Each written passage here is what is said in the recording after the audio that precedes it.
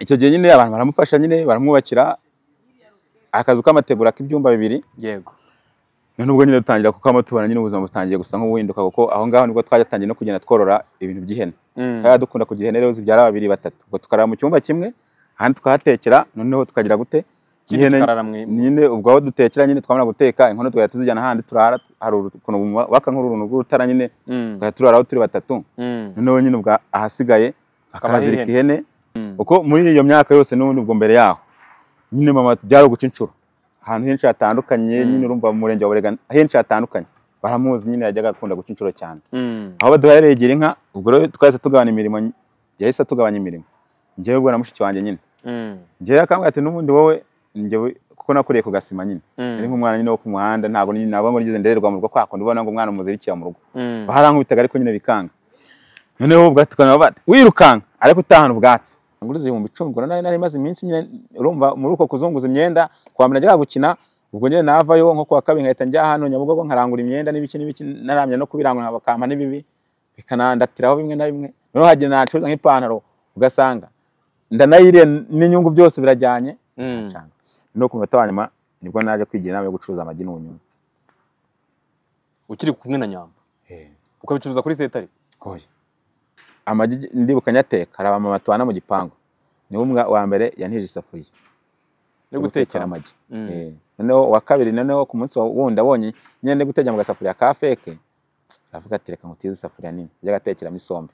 ariko ibyo ni umwaka ushize Eh, Nyine urumva nyine umwaka ushize se ubwo the message yacagaho eh, muri iki urumva njyewe eh, nk'uko gute nyine. Nawe akari nko mu mwaka ubwo nyine washize. Mm. ari mu modoka noneho ubwo nyine najyaga nkunda kwirinda nyine abantu dukorana niyo sinzi ukuntu nagize gutya kiba cyamvumbuye rero ati valence ni we wampamagaye. N'indobo eh n'indobo umeze gutya urabona ukuntu ufite akabasi k'ubunyobwa aha ngaha n'indobo nyine ikikiye. Eh. nko mu saa tanu n'igice saa sita z'ijoro. Ati valence nongera ngo ni umukiriya. Tenda hano. Ati nyamukuyemo tumu uri mu modoka. Njye nsanga ni nsara noneho uyu nguyu mu- muri timu ubu ngubu iki kiganiro aragitera. Tu! Mm. Yezu mbwira nsabe ati sha! Ati man. Ati nyine mpise ngucika mbonye nyine atari sawa atari kubera nyine ntari bitu urumva yarambwira ati harya shati reka ngugurire agafanta. Ati harya ugira kode. Ndabaza ko kanyabunyobwa utagira kode ninde Mm. atishyira utishyira sha nda- ndavuga ati ndayifite ntacyo shyiraho numva hatagiye guta agahombe ni sawa. Ewa nabampaye inote ya bitanu. Mm. yewe data we. Ati mana yagasani Ati ubuzima burahindutse. Icyo gihe nari nsiganye amagi atandatu nahise nyarya. Abandi bajyamo. Bati sinyweye icyo gihe yampaye ibyo bitanu nahise ndira. Urumva? Yego reka ngusoze kandi nkwifurize ibihe byiza wo kuri Kizimbi TV nizere yuko umeze neza nizere yuko aho uri mu bice binyuranye by'isi ubuzima bumeze neza cyane. Niba utameze neza ndagukomeza nkubwira yuko isi tubamo bibaho niko bigenda. Uyu munsi biba ari byiza ejo bikaba bibi. Uyu munsi biba ari bibi ejo bikaba byiza. Kubera imana. Ndi kumwe na Valency niryo zina rye bwite azwiho mu buzima busanzwe. Ni naryo zina yakomezanyije muri filime benshi muramuzi cyangwa se hari n'abamubonye bwa mbere eh, ariko azwi muri filime yitwa ibanga. Akaba umwe mu bakorana bya hafi eh, na kiramani muri timu ye by'umwihariko mu bijyanye no gufata amashusho nubwo mumubona nk'umukinnyi ikaze valence yes murakoze cyane. Umeze neza? Rwose ndaba ndakomeye ndashima imana. Mu ibanga muri aho? Turi aho cyane. Urishimye? se kwishima ndishimye. Nubwo atari cyane ariko ndishimye. Kubera ko itari cyane vale? Ah, ntabwo biba byoroshye iby'isi Mm. ariko buriya nyine umuntu yahumeka nta Mm. kibazo ufite mu buzima busanzwe nyine bari ibyo. Yego. Valence ati mu buzima busanzwe iyo umuntu ahumeka biba ari ibyo. Mu by'ukuri iyo ni mesaje nini. Ni ubutumwa bunini cyane. Ntawamenya. Tugiye kuganira ah, kuri valence. Benshi wenda mwamubonye muri filime cyangwa se hari n'ikiganiro twiza gukora cya timu arimo Eh, abandi mukaba mumubona mu ibanga eh, akina na na wa mukobwa na na, niyori na nyambo. Ariya mukobwa yitwa yitwa odette. Eh, uriya mirire se. Eh? tumwita mirire ariko ubundi bamwita dete dete Eh, dete mm. numvaga ari odette bahinye bakamwita dete ni odete n'ubundi ariko urumva nyine nkatwe hariya mu gasharu. Eh, ni ka dete nguko yahindutse dete Mm, yego. Benshi barakubona re, barakubona rero muri iyo filime. Uyu munsi tugiye kuganiriza nk'umukinnyi ukaba n'umwe mu bafata amashusho n'amajwi. N'umwanditsi n'umu nari ntarabigeraho. Hanyuma ukaba ufite filime yawe bwite wakoze eh, ariko ibyo ngibyo byose. Mm, urwo rugendo rwose kugera uri hano i kigali ukora ibyo bintu mvuze eh, ukaba warageze kuri revo ukora filime yawe. Mm. Uri umukinnyi mwiza uyu mu- uyu muntu wumvise ikintu akubwiye cya mbere arakubwira ati nkubona mu ibanga. Kandi nawe ni umusitari. Uzi ko abantu bo mu rwanda batajya bemera guhana kredi kuba wabwira mugenzi wawe ko ibintu akora bikora neza. Ntabwo tujya tubyemera bitwaye iki? Bitwaye iki? Kuba yaba akubona akabivuga bitwaye iki? Nuko um, ubu turakwakiriye. Rwose ku isimbi. Nubwo utabiharaniye cyane nyine Ah, turakwakiriye eh, murakoze ibwira abantu murakoze cyane nk'uko muvandimwe yari amaze kubivuga amazina yanjye yitwa Habimana Valence. Gusa benshi bamenyeye ko nitwa Valence Okonko Mhm. niyo wenda amazina konko ryavuye he So, Okonko ko rero numva ari ryo mu burengerazuba bwa afurika nguko nyine ubundi Okonko byavuye mu gitabo bitaga Apart Mm. Cyanditswe n'umugabo bita Chinua Achebe Mm. Okonko rero yari main character muri icyo gitabo. Mm. ubwo rero bitewe n'ibigwi bitandukanye yagendaga akora. Mm. nanjye naje baje kumpa iryo zina bya okonko birangira nyine ndifashe. Ubwo no kuba nyine wari igikara. Hoya nta nubwo ari n'igikara ahubwo ikintu ikintu wenda nk'abantu bari banzi kuko iryo zina nyine ni abanyeshuri nyine twiganaga nkigera mu wa kane segonderi barinyise. Tukimara nyine kukiga nyine yani nabivuga nk'iki yani kugifafanua Mm. nyine tumaze kukinjiramo Mm. ni bwo nyine barebaga wenda nk'abantu bari bamenyeye. Mm. bakareba ubuzima bw'uwo mukaragita bakabugira ubwa valence. bakabona nka mirongo inani ku ijana. Hoya ntabwo bwari ubwanjye ahubwo nka mirongo inani ku ijana. Hari byinshi twari duhuriyeho. Reka da. Mm. nyine bitewe na, na, stories zitandukanye z'ubuzima. Habimana valensi uh, benshi bamenye nka valensi Okonko. Cyangwa se valensi mu ibanga Eh. ubu ni we tujya kuganira nabo abantu bamumenye kuko Eh. byonyine ba- baraguhaye iyo nyito Mm. ya okonko ni umukaragita uzwi muri icyo gitabo Mm. cya Chinua Achebe sinzi Eh. niba nibuka neza ni umunyanigeriya niba nibuka ni Roma ngira ngo ni Roma icyo gitabo ni Roma Apart. Mm. Ah, ni- uri muntu ki tugiye kwinjira mu nkuru yawe tuze kugera uko waje muri filime ukagera ubwo ukora iyawe Ibyo niko byafata nk'amasahara ariko ntacyo reka tugerageze Njyewe nyine kano kanya ndi umusore. Mm. so navukiye mu karere ka Rulindo mu murenge wa Burega abenshi barahazi Mm. ni ho wenda nakuriye n'amashuri yanjye nyine atandukanye ni ho nayigiye nyiga. Mm. nabavukiye mu muryango navuga kuri papa oya, kuri mama. Twari abana babiri njye na sister wanjye mukuru. Kuri papa ho turi umuryango mugari nk'abana nk'icyenda. Papa afite abafite muri icyenda. Kuri mama mukaba babiri. Eh kuri Mm. bane babiri. Ariko nyine njyewe nka famille yo kwa papa cyane ntago n- nyine njya nyikonta kuko ntago nubwo nakunze kubana na yo. Na kano kanya nyine hari n'abajya bahamagara bakambwira ati gutya na gutya? Nyine nkumva ko bigeze kumumbwira Mm. cyangwa nkaba naramubonyeho rimwe ndi nk'umwana nyine. Tugahita dutandukana bitewe na situation z'ubuzima. Bikarangira gutyo. Ubwo rero njyewe nyine ubuzima bwanjye bwose nyine mu murenge wa Burega ni ho ntabwo nakuriye ubwo nyine nkurana dukurira muri uwo muryango nyine ntabwo nabwo wenda ngo ari famille. Yifashije cyangwa itifashije. Mm. hari uburyo kimubona nyine muba muhanganye? Mm. nyine muhanganye n'ubuzima tu. Muri abantu barya byakunze cyangwa ntimurye ntabwo Eh. ukuntu twari tumeze ntabwo navuga ngo twari abantu barya byakunze cyangwa bitakunze. Mm. kuko nyine bitewe mama yatubwiye turi abana bake urabyumva. Rero wa muntu nyine ugerageza uburyo bwose bushoboka kwihiringa. sinzi ukuntu nabivuga. Nyine birenze no kwihiringa. Ariko akabona by'uyu umwana we yariye. Ariko wamara kurya nawe kinagutozaga nimba wariye wakoze iki? Yego maze kurya. Eh ukimara Ese, kurya. mbwira Mm. raporo. Wakoze iki? Nguko nyine. Mm. eh. Mhm. noneho ubwo ngubwo nyine tubaho gutyo kuko wenda nibuka neza nk'ahantu wenda natangiye kubona n'ubuzima buhindukiye nko muri za bibiri nka gatanu ndabyibuka. Mm. ubu nyine twari tubayeho muri bwa buzima ubona nyine nawe udafite foromire. Nyine ubwo bambaye nk'akazu k'uburushyi kari nk'akazu ni gatoya cyane. Nubona kagiye no, kugira ndakibuka. Kagiye nko kugwa. Noneho aho ngaho turahaba turahaba noneho biza kugera igihe hari ukuntu mu cyaro abantu bagenda bahana imiganda noneho mama hari abantu bajyaga ajya guhingira noneho bakazaza kumwishyura nyine kuba nyine bamwubakira nk'inzu Mm. urumva kwa kundi ba- muba mwaragabanye ahandi hantu nyine twaje kwimukira haruguru gatoya ndetse nk'uko twari duteye twari duteye nk'ahangaha ni ho tukava ahangaha wenda tuke- tukoga nka haruguru Benin. ariho bamuhaye ntabwo mbizi nyine nta ntabwo tugereranya no mu mbare. Kiyovu nguko nyine. Kugira ngo mve ukuntu ubutaka bwo mu mujyi buba burenze maze uramutse uvuze uti iwacu hari hano kuri bene bato batarayubaka hari iwacu uri umuntu urenze. Ni hatari noneho icyo gihe nyine abantu baramufasha nyine baramwubakira akazu k'amategura k'ibyumba bibiri. Yego. None ubwo nyine dutangira kukamo tubona nyine ubuzima butangiye gusa nk'ubuhinduka kuko aho ngaho ni bwo twatangiye no kugenda tworora ibintu by'ihene. Mm. kandi dukunda kugira ihene rero zibyara babiri batatu. Ubwo tukarara mu cyumba kimwe ahandi tukahatekera noneho tukagira gute? Nyine ubwo aho dutekera nyine twamara guteka inkono tugahita tuzijyana ahandi turara hari ukuntu waka nk'uruntu rw'urutara nyine Mm. tugahita turaraho turi batatu. Mm. noneho nyine ubwo ahasigaye akahazirika ihene.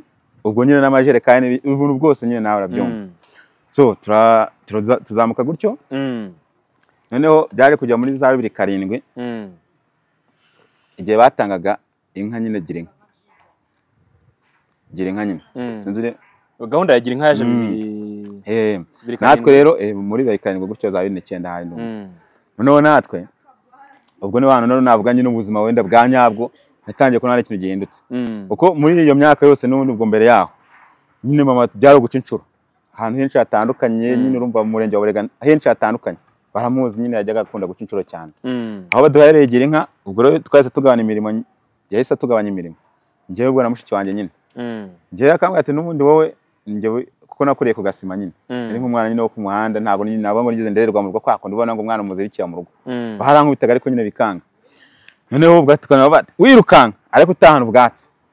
Inkwi ubwatsi. Ubwo niko Mm. kazi kawe ari akanjye n'amazi. Mushiki wanjye nawe nyine izindi situwasiyo akazimenya.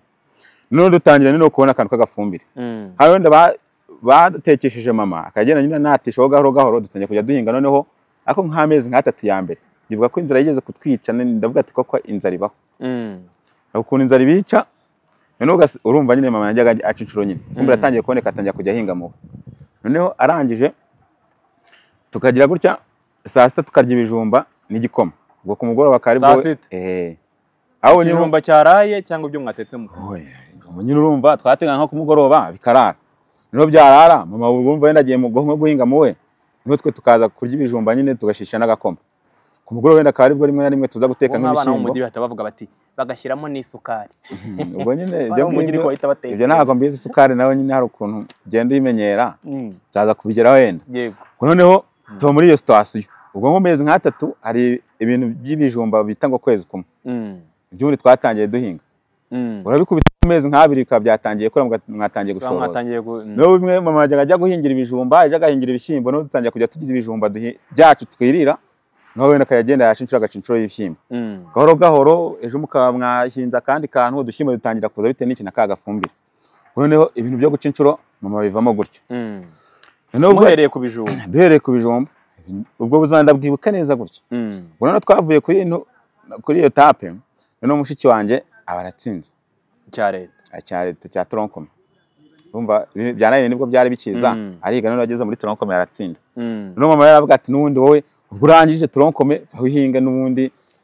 Ayo ubumenyi burahagije. ubwo burahagije noneho abantu nyine baramukumakuma bitewe ko yari umuntu w'umuhanga ko batereka reka shaka ukuntu uburyo bwose bushoboka. Uyu mwana yajya ku ishuri. Mm. akavuga ati koko nawe ko mureba ahantu ndi muno ubuzima ari ubuhe? Uri kumva ibyo bibaho ngaho noneho urumva hari ikintu bita harambe. Harambe ni iki? mu kinyarwanda ubwo nabyita nk'ikira. Nko gutya ijyana mucango nk'uko bavuga wenda kuguteranyiriza Mm. hari ukuntu ugira gutya wenda ukavuga ngo Gukusanyiriza aha Mm. nko gukusanyiriza nari mbivuze nabi umuntu uza mu bindi Mm. noneho bamwe nyine bakavuga ati rero buriya njye amakaye nzayamugurira undi ni forume nzayigura kumva ati buriya inifomu wenda izagenda nzazishyura. nyine gake gake gutya Mm. n'umushiki wanjye nyine abona udufaranga dukeya tumujyana ku ishuri urumva nyine situwasiyo ntiyari yoroshye Mm. nubwo muri iyo minsi ni bwo haje na biriya byo kubakira abantu baba batishoboye Mm. bitewe n'uko twari dufite isambu yacu yakoraga ku muhanda abandi barabajyanaga mu midugudu mama we yanga ko bajyamujyana mu mudugudu. Mm. noneho nyine bamuha amabati nyine baravuga ariko ubwo ni ukujya baguha amabati ukirwariza kwa kundi nyine urumva inka yari yatangiye kuboneka uduhene n'iki n'iki akagurisha dutangira kubaka inzu y'ibiti. Niyo nyine twahereyeho. Nubwo mushiki wanjye yatsinze muri iyo situwasiyo nyine. None ubona nyine ari hantu none ubukene ari danje. Mm. ariko aramuteranyiriza birakunda. Noneho umwaka wa mbere nibuka ko yawize nabi. Noneho ageze mu mwaka wa kabiri ubwo mu wa- gatanu niko nabivuga. Mm. mu wa gatanu rero dukubita n'ibindi bibazo bitoroshye. Yaragiye muri interine Eh, yari agiye muri interine Mm. urumva nyine ikintu cyari wenda kugenda byari byoroshye. Ariko nk'izindi situwasiyo urumva nyine nari nkiri muto uko arusha nk'imyaka itandatu cyari hafi irindwi. Njye wahise umenya situwasiyo nyine zo mu rugo. Mm. mu myaka nka cumi n'itatu cumi n'ine. Hari ahantu umenya ngo wenda wagiye mu ntuza wenda wagiye wenda wagiye gukora nk'ikiyede. Wajya gukora ikiyede ukamenya ngo wenda niba ba- bari buguhembe icyabiri. Kuko icyo gihe wowe ntabwo wigaga se? Narigaga ariko nyine nuva nko mu biruhuko. Cyangwa se no mu zindi situwasiyo nyine nyine nakuze ndi wa muntu wihiringa kuko rimwe na rimwe nagendaga nsiba n'ishuri nyine nagiye nko mu tuntu ukajya tw'uturaga gushakisha udufaranga. Mm. Mm. ukamenya ngo njye nikundiraga ibintu by'amandazi. Wenda nkaba narya wenda na- narya nka magana atanu cyangwa magana atatu. Yego. Nakoreye icyabiri. Aho nkamenya ngo magana arindwi cyangwa bikunda ari bugire gute? Oya vare uretse. Wakoreraga icyatanu magana atanu ukayarya amandazi. Dore gite. Ubwo ni cyo gihumbi uko byanga kose. Icyatanu senkisa urumva ni nk'urugero ubundi hari ibintu bya- Denji. hari ibintu bya bitaga denjiga Mm. izi ubu ngubu nabonye barazipirasa zisigaye ari na dutoya. Mm. noneho hari n'igikombe bita cy'abakonsi Mm. urumva? Hari ukuntu wowe mwajyaga urumva nko ku kiyede. Ntabwo mwamwe utahe saa kumi n'imwe ngo mugira gute? Gutaha utariye nyine. Kandi nawe bagafata nk'icyo cy'abakonsi rimwe na rimwe ugasanga kiri kugura nka muri abiri n'itanu turuwasa ukakubitaho na cya denjiga cyangwa se wareba nawe ukarya y'ubushera. Eh. Cy'ubushera Mm. ewana kinini nyine cy'icupa ugakubitamo n'igice na, na, na, na denji na denjiga Mm. ubwo noneho sasa ukirirwa ukomeye eh eh, byahatari Mhm. ubwo none nk'ahandi nyine ugasanga niba ugeze mu rugo nimba ari uwo munyu ukenewe nimba ari iki urumva utuntu twose two mu rugo nyine Mm. mama iki icyo yashakaga yari gushaka uburyo wenda mushiki wanjye yakiga Mm. ubwo none ikindi nka meke nka menekinga neza ashobora ko n'ubundi na ya nkiri mu rugo na yo ngomba kuyahirira Mm. so twageze igihe rero noneho ubwo nyine wenda ubuzima busanga butangiye kuboneka urumva muri guhinga noneho Mm. dutangiye kujya tujya tudahashye noneho mushiki wanjye yaje kugira ikibazo noneho gikomeye. Mm. yaje kujya kwiga noneho atangira kujya arwara hari indwara nimba bayita ibishute Mm. sinzi ukuntu nabivuga. Ubona hari ukuntu umubiri urabona ukuntu n'umubiri wawe wenda cyangwa wacu umeze. Mm. n'ukabona uri kurinda amaraso. Amantu amashyira Mm. iyo niyo ndwara arwaye byatangiye bikaza ari Bigaturika. byahereye mu maso bigaturika. N'ukabona nyine amashyira ari kuninda. Bikaducanga. Mu minsi mike yari umukobwa ubona nyine w'inzobe ubona nta kibazo. Ariko haciyemo nk'amezi nk'angahe? Asa nanjye ndavuga ati tayari sasa. Mm. ubwo ubuzima ni ho noneho bwatangiriye noneho guhera bw'ibibazo. Akajya gutya akajya ku ishuri yakubita ukwezi kumwe. Ubundi bakagarura nyine baza boroshe. Mm. abanyeshuri benshi bagiye bamusura ahantu bita mu rukozo. Abanyeshuri bamwe nyine urumva bakamusura. Nanone wenda bikaza bigasa nk'ibyoroga cyangwa mu gihe ari mu rugo ariko byaba ari ku ishuri bikongera bik- bikaninda. Bakabaramuza kuko ahantu hose yaryamaga habaga amazi. Mm. noneho ibyo ngibyo wenda ku munota wa nyuma nko gukora ikizami akaribwo bongera kuvuga ati wazaje basi ugapfa gukora ikizami. Mm. noneho yanagikora nabwo akagenda nk'ukwezi kumwe wenda ari ku ishuri. Agatsinda. Ibintu bikaducanga. Mm. noneho ubwo abantu ubwo buzima noneho ndibuka ku munota wa nyuma wari muri primaire w'icyo gihe? icyo gihe numva nari nko muri za ntorokoma ariko nagiye niga nduhanya nabwo urumva kwiga ushaka n'uduceri Mm. nagiye niga nsibira. Kuko naradaburinze bikomeye. Uri kumva? Noneho muri icyo gihe aha ni ho baba wenda ubuzima nyine bwa nyabwo natangiye kubonera. Mbona koko yuko isi y'umuntu aba arimo. Idasakaye yego.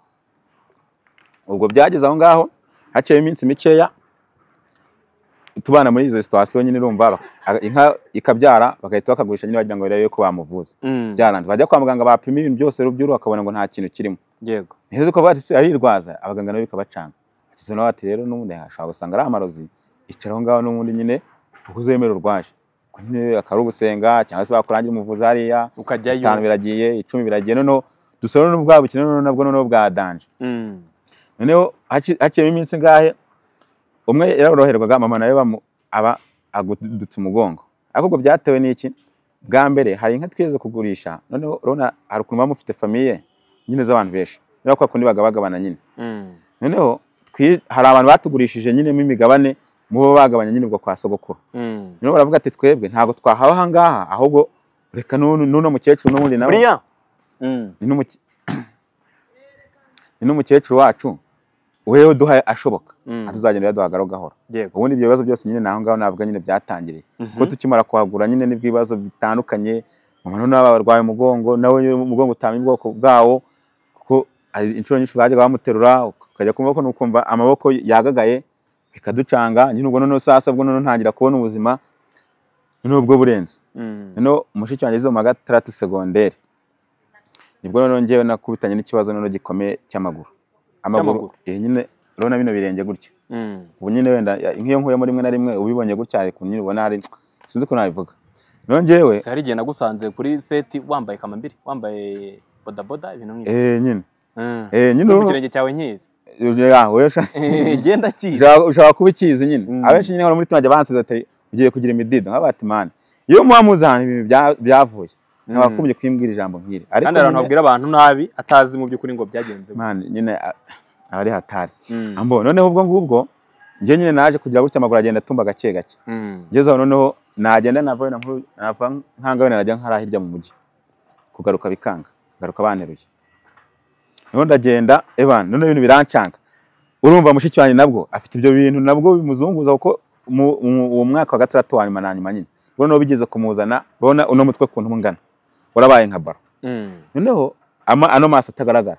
Noneho hari ikintu nibuka kuko ari icyo gihe nyine urumva wajyaga umurwaza nyine yirwaye yiruka yarataye umutwe mwe nangaha. Kugira ngo arebe wa- wagiraga gutya amashyira agahita amanuka Mm. ava mu maso. Tukaba ati ibintu ntabwo bizoroha. Nawe uhita watakwa n'amaguru. Nyine nanjye ibyo by'amaguru biramfashe. Bikimara kumfatira rero noneho ubwo njye byaje noneho urumva ni njyewe umuntu wari usigaye nyine wenda nihinge wenda mu rugo nyine kugira ngo tugere mu ducishamo kuko buriya mu bintu byose bibaho. Buriya wa- nyine ngerageza uburyo ikintu icyo ari cyo cyose nakora ariko simbone mugenzi wanjye ashobora guseba Mm. ni uko nguko mbaho Mhm. noneho amaguru neza neza na yo ndagenda ndagagara noneho nkagagara mbona noneho wenda n'ubundi bwo twaya tujya gutya wenda ngo uriya wenda nka- nk'inka wenda ngo bamu- bamugendere Mm. noneho mama ni nkaho n'ubundi nawe ari igisenzo cyari kiri aho ngaho mushiki wanjye nawe ni ntawe niyikora noneho nanjye ubwanjye najyaga ngenda noneho ibintu bitangiye noneho kuducanga Mm. noneho nyine narakugendeye nkabona isi yose nko mu kwezi kwa mbere. Nyine hari abana twiganaga bajyaga bansura wenda nkumva ameze neza. Mm. ariko nagezeyo noneho ku rwego noneho no guhagarara gutya. Mm. wenda byibura ngo mpagarare si- amasegonda se ntabishobora. Mm. Ari uguhagarara gusa wenda sijya no gutambuka. Ndagenda ibyo bintu mbikubitana nk'amezi nk'icyenda. Hariya handi hari ukuntu utangira nyine wumva ufite agahinda. Noneho ukagera igihe ukajya wumva nyine ukirwurira ukararurira. Ukora na byo ntibikora. Ntukagera igihe ukumva noneho ufite ya ntimba utazi ngo bimeze bite. Mm. byagiye kujya nko mu kwezi kwa cyenda. N'undi wa muntu njye wiyakiye kuko nari narasenze imana avuga ati mana basi byibura bwarimo wamfashije ukamfasha muri bino bintu ukanyica. Mm. hari ukuntu umuntu ajya aryama urabona hari nk'ukuntu umuntu njyewe wenda njya bijya bimbaho cyane. Nk'ubu nabishobora nshobora kuryama aha ngaha niyo wahaca. Ukaba utashobora no kumva kwa kuntu uvuga ngo reka reka. Mm. nyine umwuka ameze nk'uwawufunze ibyo bintu byanje mu ryari? Byaje muri icyo gihe najyaga ndyama mvuga ati byibura imana yonyine. Imfashije nk'ubu gutyo nsa nk'uwafunze umwuka. Nkahita nigenda. Byibura nawe nduhutse nabwo ibintu biranga neza neza. Urakomeza ubaho. Urumva ndakomeza mbaho. Noneho nkiva muri ibyo bintu nyine. Hari ukuntu nyine utangira kumva ugenda gakeya nkajya nsenga imana bati koko mana. Kuko ni iki kikundekesheje? Kuko wenda nagize amahirwe nza gukizwa nkiri mutoya hari ibintu byinshi nyine wenda ntabwo nta- ntagiye mpura na byo. Mm. ariko najyaga mvuga ati ko najyaga wenda njya gusenga ukambwira gutya na gutya. Ese koko ni ibi ngibi uhemba Mm. hari amasengesho twagiye dukora ari ayo kwiriza ari ayo kimwe bati cyakora koko sha nimba ari uko nguko uhemba uhemba nabi tu. Mm. ariko nabwo nkabura ikintu nagira gute iki nkabura ikintu nakora. Ibyo ngibyo bibaho ngaho noneho nyine hari igihe cyageze nka karitsiye nyine. Abantu bose bazi ko urugo rwacu mbese ari urwo rw'abanyabibazo. Nubwo ngubwo ibyo ngibyo nyine nkimara gusa nk'umuntu mama utambuka. yababyaye yarushye arabarohana arabakuza mugikura noneho nyine n'ibibazo n'ibyo bintu byo situwasiyo nyine utamenya ngo nyine ubwo ya mirindagurikire y'isi nyine igibaho. Noneho ikintu cyaje no kubaho uvange nyine nkimara gusa nk'uworoherwa. Urumva natangiye kuvuga ati koko ahantu ni gute basi nahava cyangwa se nabaho? Kuko nyine hari ukuntu ubona nyine ukabona n'ubundi aho hantu utagize. Sinkubeshye ndi umuntu niga nka mu wa kabiri hari segonderi nubwo nyine urumva najyaga niga bigoye nyine ahantu hose nyine ari danje. Mm. Ntangira kuva numva mvuye mu ishuri ati ibyo kwiga na byo ntabwo bikora. Ishuri rivamo. Eh, hari umuntu wandangiye najyaga mvuga ati najya mvuga mfite inzozi z'uko wenda nazaba wenda nko hanze y'igihugu cyangwa se nana nazaba muri Kigali nk'umuntu wenda runaka. Mm. ariko simenye ngo bizagenda wenda na- byagenda gute. Noneho rero hari umujama wigeze kumbwira ati n'ubundi wowe ujya umbwira ko ushaka kuzajya i Kigali? Bari nka kurangira akazi ko mu rugo. Urikumva ishuri urive mujye mu kazi. ishuri murivemo kureba n'ubundi wowe wiga n'ubundi uruhanya n'ibiki n'ibiki ubona ibintu byaragucanze. Ukaza kwikorera akazi ko mu rugo kwagenda utangira gakeya. Ukazategeta umujyi na Uganda wajyaga wifuza ukazagerayo ubundi nyine ibintu ubuzima nyine ukuntu buhindutse. Ndavuga ati icyo gitekerezo ni inyamibwa. Ishuri mba ndarikatiye mpita ngira noneho icyo gihe. Ndavuga nyine nshyira no mu rugo. Ko ari nk'ukuntu urumva wicaye wiriwe wicaye aho ngaho n'igihe mu rugo nyine nabo muserera avuga ati waje nyine utwatsi kandi njye nashinga nkumva ibirenge ntibiri gukunda Mm. nangiye gusa nk'uworoherwa nyine. Noneho ati ahantu kubacika Mm. sinavuge ndagenda. ibintu byo kwirirwa mu nka nahira Eh, ngira nti ngo mbacike. bati nzi batane ni ho hahandi byose ni kimwe. Ubwo twari dusigaranye nk'imwe bati mwayigurishije mukamvuza ko nakira. Mm. mama akavuga ati izindi zo twagiye tugurisha kuri aba ngaba twe twarakize. Mm. ubundi none iyi ngiyi twahita n'ubundi no tugasubira ahandi twari turi urumva amaherezo ari ayahe? Nkaba ko mwebwe ni mwebwe ntabwo muri njyewe. Njye njyewe mfite ikibazo ko nshobora gukira. Nabwo njye nkabona bari kumfungana mu mutwe ndavuga turabizi. Nintirwanaho ntabwo bizakunda. Bagiye gukora ahantu bita ndatema. Ndatemwa hariya gaseke. Mm. urabona ugeze hariya ni gaseke. Kaje vuba. Hari umuhanda ukomezamo hariya. Bagiye gukorayo. Noneho ndagenda numva ko hari umuntu azi amafaranga menshi. Umugabo atuvuganye arambwira ati sinarenza bitandatu. Ku kwezi? Ku kwezi. Gatatu yataye ndavuga ati se byibura hari televiziyo? Kuko najyaga nkunda nta televiziyo nyine n'ikintu najyaga nkunda nyine nubwo uteze ko hari televiziyo niba bari televiziyo. Arambwira ati ugira ikibazo hari na mashini nakoraga abaprofe babiri n'abamotari babiri. Niho masanga kandi kana ko nyine kare karananira uhembwa bitandatu ukorera abantu bane. Eh, urumva hari hari inka? Urumva hari abamotari babiri n'iki nyine gutyo? Nongeye biteye nk'ibintu by'inka nyine nari mbimenyeye. Mpageze bose nko mu cyumweru kimwe. Ese avuga ati umuhungu ntabaho? Mm. urahita avuga ati rero wowe uku kwezi nigushira nzakugeza ku munani. Mm. kuko ndabona uko ukora- ukora aka- akazi neza.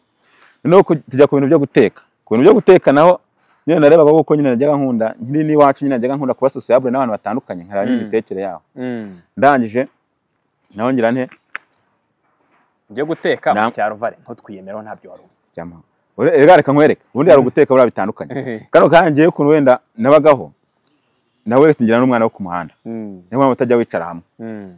nk'ubu dushobora kuganira gutya nkabona ibintu uri gukora ntabwo ushobora gukora ikintu kabiri ntarabona ukuntu bigenda utarakiga ni njyewe niko niko- ni cyo kintu ukorera abo bantu noneho nyine naho mba ndabakoreye none ikibazo cyaje kubaho? Navuye mu rugo mpunga kwahira ni ho mpageze naho mpasanga inka. Mbona ibintu bizavamo Mm. ndavuga ati nagiye kera kuza noneho tukajya tujya kwahira ahantu hafi ya ntuza nimba ari nimba ari nyabarongo nimba ari iki? Ubona sinzi ni uwuhe mugezira? Kuko twaza twamanuka nkanga tukamiruka mu muntu mu wundi musozi gutyo Mm. rero ikintu cyo kugenda ari cyo kintu nirindaga Mm. kubera ibirenge. Ibi kubera ibirenge. None nakubiseho ibyumweru bitatu iwacu batazi ahantu ndi. None ndababwira ati rero mbonye ibintu bincanze ndabahamagara. Uti ngiye gutaha. Nabwo leta ngo mumeze mute? Ati wa mwana ni ati nsigaye nifitiye akazi mu- munshinguke yemeze neza. Eh ariko rero kugira ngo atatu mama aravuga ati koko mwa- wa mwana kuko reba ukuntu nabaruhanye reba ibiki n'ibiki nta kuntu wansiga gutya, byinshi cyane bitandukanye. Ndavuga ati aha ni ho nashakaga rero. Ati ubundi ikintu cyatumye ngenda nabonaga mudashaka no kumvuza. Mm. nongera nagiye ngiye kwishakishiriza. Mama aravuga ati rero noneho rero basi garuka nshakisha uburyo bwose bushoboka. Inka ndayigurisha bose Mm. yahise amubwira turabizi bose? Ndagiye. Sinzi ikintu baba namutekeye ni umwana mwiza ya- ya- mpakiye kuri moto. Aragenda angeza ku- murenge wa burega nyine ubwo nyine ku murenge w'iwacu ahantu uri Mm. noneho ngewe navuye. Ariko muca za rusasa hejuru. Eh guca za rusasa ukagenda ukomeza mu muhanda w'igitaka ujya za ntuzi ukagenda Ntarabana, ukajya mu isantere Kiyanza ukagenda no ku murenge wa burega. Noneho ngewe ngera mu isantere yo kwitaba ni ho hantu ntabwo narerewe ndemba Mm. ushobora kuhaza. Noneho ndaje ni ho hantu noneho yangejeje arambwira ama n'ibihumbi bitatu. Arambwira ati noneho rero ubwo ufite icyo kibazo? Narambwira ati naje naribagiwe imiti. None ndabona ibirenge biri gushaka kugagara kandi nyine iyo maze iminsi ntafata imiti niko bigenda. Ati noneho wegenda ushaka umuti uzagaruke. Ndavuga ati imana ishimwe. Njye noneho mu rugo nyine urumva muravuga ati kuko wa nyine byinshi cyane naguhanahana nanagufata neza kwa kundi wenda tukajya ducyokerana rimwe na rimwe nyine ntibyongera. Noneho ni bwo yampaye situwasiyo z'ubuzima nyine. Wa mwana ntukabone wenda ngo ngo ndakwirengagiza. Ane- anerengera akantu ku kandi akantu ku kandi. Ndavuga ati urabizi basi mbabarira bwarimo ukumva aho ngaho ndabyumva. Noneho sasa nkiva aho ngaho ubwo mushiki wanjye igihe cyarageze aba arashatse noneho ashaka noneho njye maze gukora toronkome ukumva Mm. ubwo nyine yararangije yatangira haza ibintu bya ruhwahu noneho bya viyupi ni byo bitwa reba bino bya ruhwahu by'amaterasi y'indinganire ruhwahu yego. Eh niko iwacu tubyita nyine yego. Rero byo guca amaterasi y'indinganire none bakuramo amafaranga naho nyine haragenda njyaga ubwo bwo nari urumva naragarutse none nsubira no ku ishuri. Ariko rero numva ibintu by'ishuri nyine ntabyumva neza nyine mvuga ati mwambaye n'ubundi none akazi none ko kabonetse. Aha nihiringa muri ruhahu ko nakora wenda nk'amafaranga mu minsi mike nkaba nagura inka kuko najyaga mbona abajama bara- barapagasa ugasanga wenda nk'amezi nk'atatu aguze nk'igare. Mm. noneho nko mu gihe twiwacu hari nk'igihe cyo kwa gatandatu n'igihe cyo kwa cumi n'abiri. Haga hakundaga kuba hari ibintu hari ibiraka nyine byo kuzana amajeri i Kigali. Mm. ibyo rero nkabona bigira amafaranga bya hatari. Nkuba ati nanjye mwamba wapakiye ku igare. Eh bapikiye ku igare. Nkuba ati mwamba bare bwa rimwe basi nanjye nkagira gute? Nanjye nkajya muri wawe ko nta buri kintu nkuramo. Mm. mama ati wa mwana buriya ngo yajya akunda kuncira umugani ngo yimijwe n'ikaramu ngo ntirambura Mm. ati wa mwana ibintu utari kwiga kano kanya. Arashobora kuzagira igihe ukabyifuza. No nka akari undi mugabo nanone ni umugabo w'inshuti yanjye cyane nakunze na n'izi sanye turacyari inshuti bitaga murokore yari umuntu nyine nawe azi situwasiyo zanjye abe nk'uko wenda kano kanya wenda kiramani nk'iyo ngize ikibazo nshobora kugira cyose. Ubwo ati bose bimeze bite? Nawe nyine ari wa muntu sinzi ukuntu navuga ngo twari tubanye. Mhm. ya none wowe ntabwo yayize nyine nawe ngo wenda ngo agere kure ariko yari umukire. Niyo nkakunda kumucuruza yari afite iduka. Akanyizera akarijya amuhaye na miliyoni nyine ugasanga nyine ndakura mu mafaranga pe. Ariko hariho ukuntu nkora akambwira ati mwana ibyo wakora byose. Ishuri. ikintu kimwe. We kunda ishuri. Ibindi bizabaho nyuma. Byibura nyine situwasiyo uzagiramo yose. Basi nzajya na yo ukuntu ngusapotinga nawe mfite ubushobozi bwo kuba nagufasha ariko nibura ajya mu ishuri. kuko njye kano kanya birambabaza. Iyo mbona mfite amafaranga ariko ntarize Mm. noneho ntangira bite ko twanasenganaga rero. Ntangira kujya mvuga ati uyu muntu ntamwubashye. Ni ahantu hose nyine urumva. Mm. Hari uba ufiteho icyitegererezo nyine unatinya noneho ntangira kujya mu ishuri nubwo mushiki wanjye noneho aho ngaho ho ni bwo yagize gute? Yarashatse. Ariko ashakanye ashakana n'umuntu umuzi nyine ku bya bibazo bya situwasiyo za famiye by'iwacu byose. Mm. ari hantu nyine ubona nyine byari bigoye ariko kubw'imana imikora n'ubukwe bwiza pe. Aba arashatse. Ukomeza Nubwo- nawe mu eh, ishuri nubwo njyewe mba nsigaranye noneho na mama. Mu rugo nyine. Noneho wenda ubwo akimara kurangiza wenda aho gatoya akajya asapotinga famiye Mm. nongeye ntangira kujya noherwa nyine ndageza ari handi noneho nta kibazo ugura inkweto ushaka ibiki n'ibiki nyine. Nta mbese nari mbayeho mu wenda mu buryo bwa gikene ntabwo nagaragara wenda ko ndi umwana wenda ngo w'umupfakazi niko Mm. bakunda kutwita. Nari wa muntu noneho koko ugerageza kwiyubaka. Mm. noneho akimara gushaka rero urumva noneho ubukwe bwadusize mu bukene noneho bukomeye. Noneho bwa bukene ebana ubu nawe ureba ukavuga ati kabisa. Ku bw'amahirwe noneho icyo gihe urumva yamaje yakoresheje ubukwe nk'uyu munsi ku kwa gatandatu kwa mbere nzajya gukora exit. Hariya muri cya kigo bita ikiyanza. Sinkubeshye. Troncome. electroncome Mm. electron electroncome isano nibuka na sene bana bati romana nkurikije ukuntu nari mbonye mu rugo tumeze. Nawe ati man umbabarire. Sinzatsinde. Mm. uko ndamutse nsinze kuvuga ngo ndiga na yini cyangwa 12 byaga ari ibibazo. Iki nanone ndi kubona n'ubundi nta bushobozi na buke busigaye mu rugo. Dufite urumva nyine reka nzatsindwe n'ubundi ndivemo. Reka nzatsindwa n'ubundi wenda ibindi nyine saa kindi zawe byara ikindi.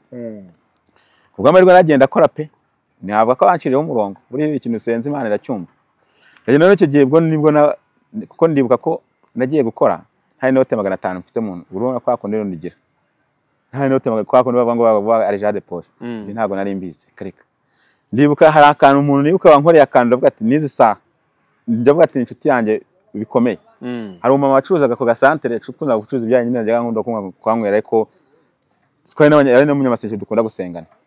Namuciyeho gutyo gusa nyine meze nk'umuntu wamanjiriwe kuko umujama nari nabwiye ko turi burarane urumva na matana nawe byari ikibazo muri icyo gihe.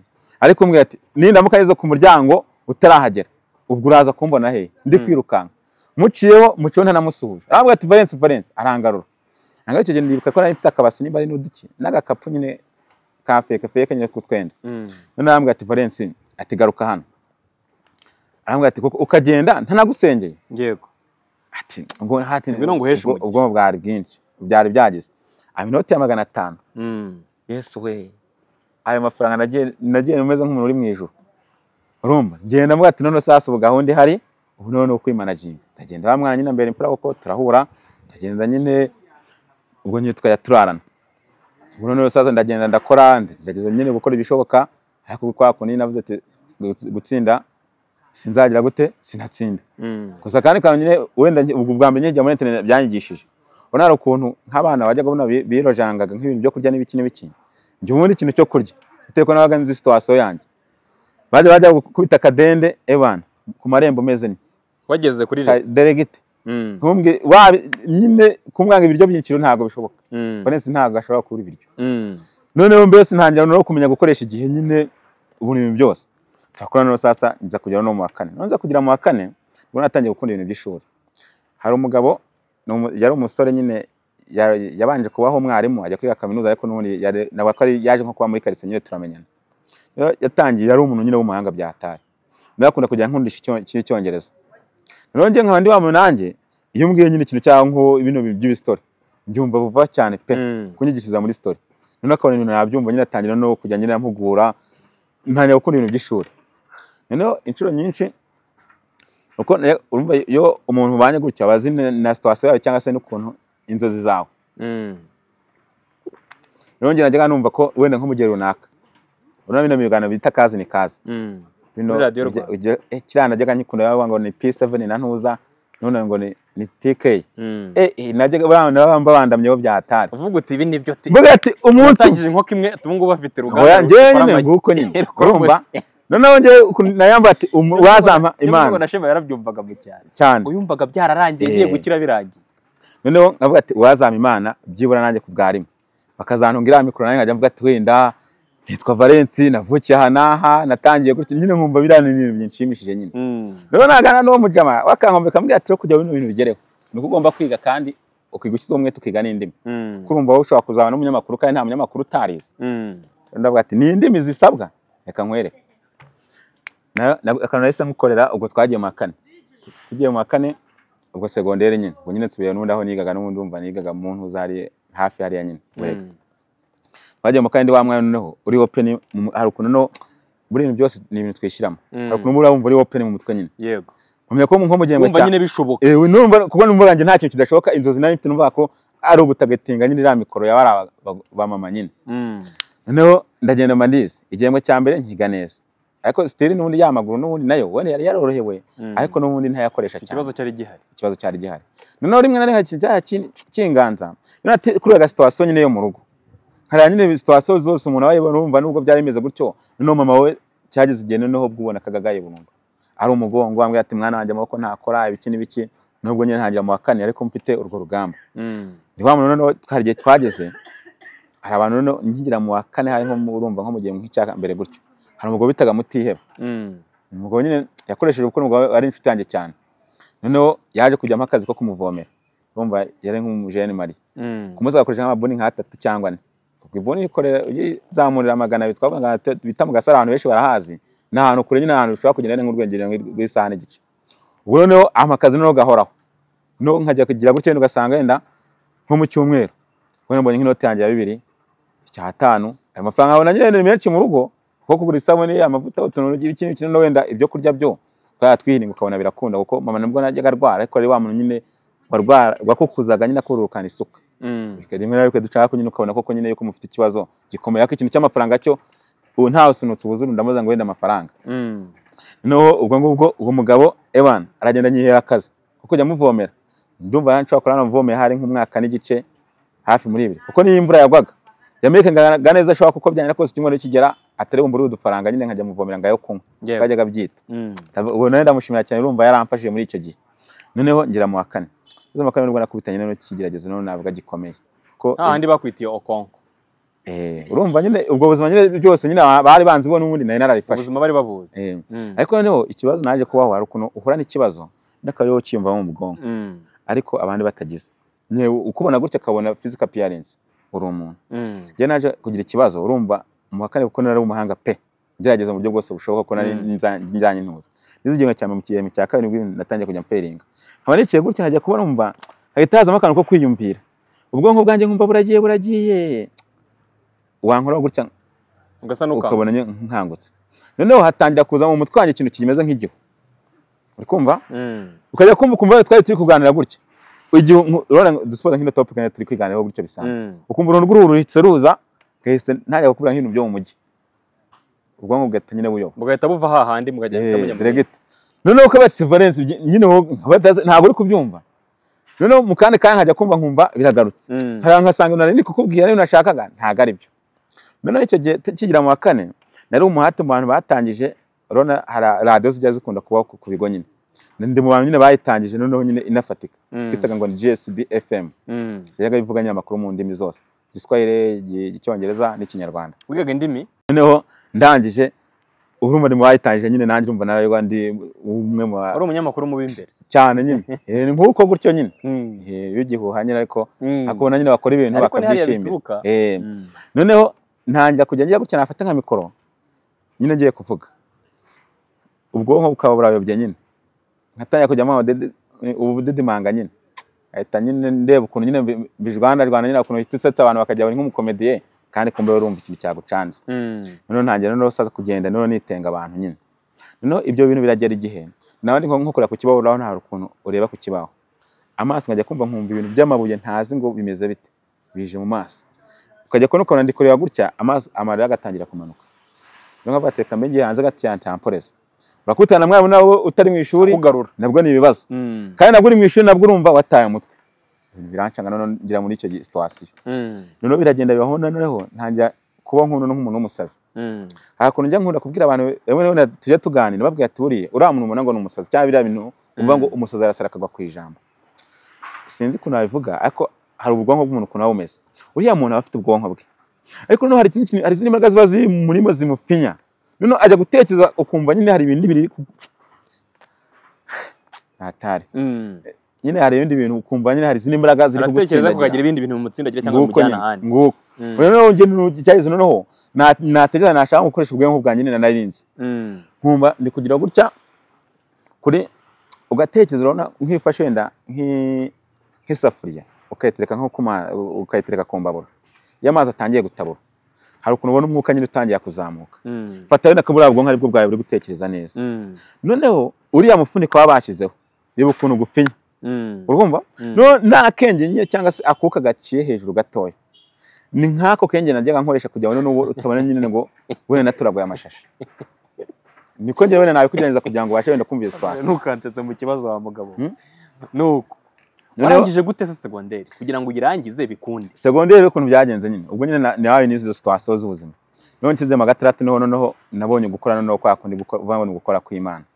Imana burya yakora sabi Mm, cyane. Mama yagize gutya urumva noneho ubwo byari byararangiye noneho nk'uwo mwaka wose mu wa gatandatu.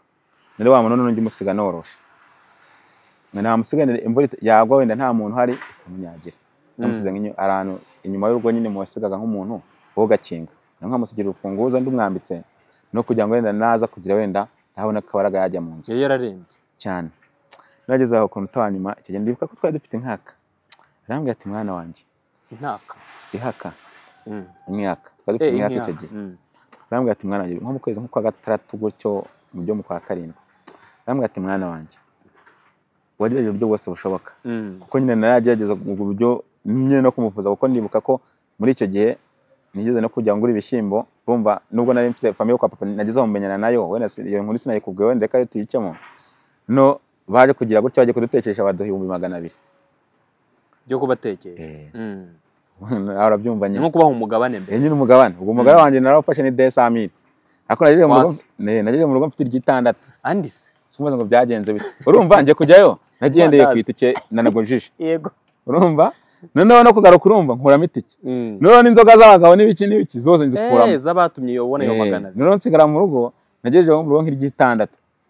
Noneho ndavuga ati amafaranga rero kugira ngo wenda agire ikintu amarira. Mm.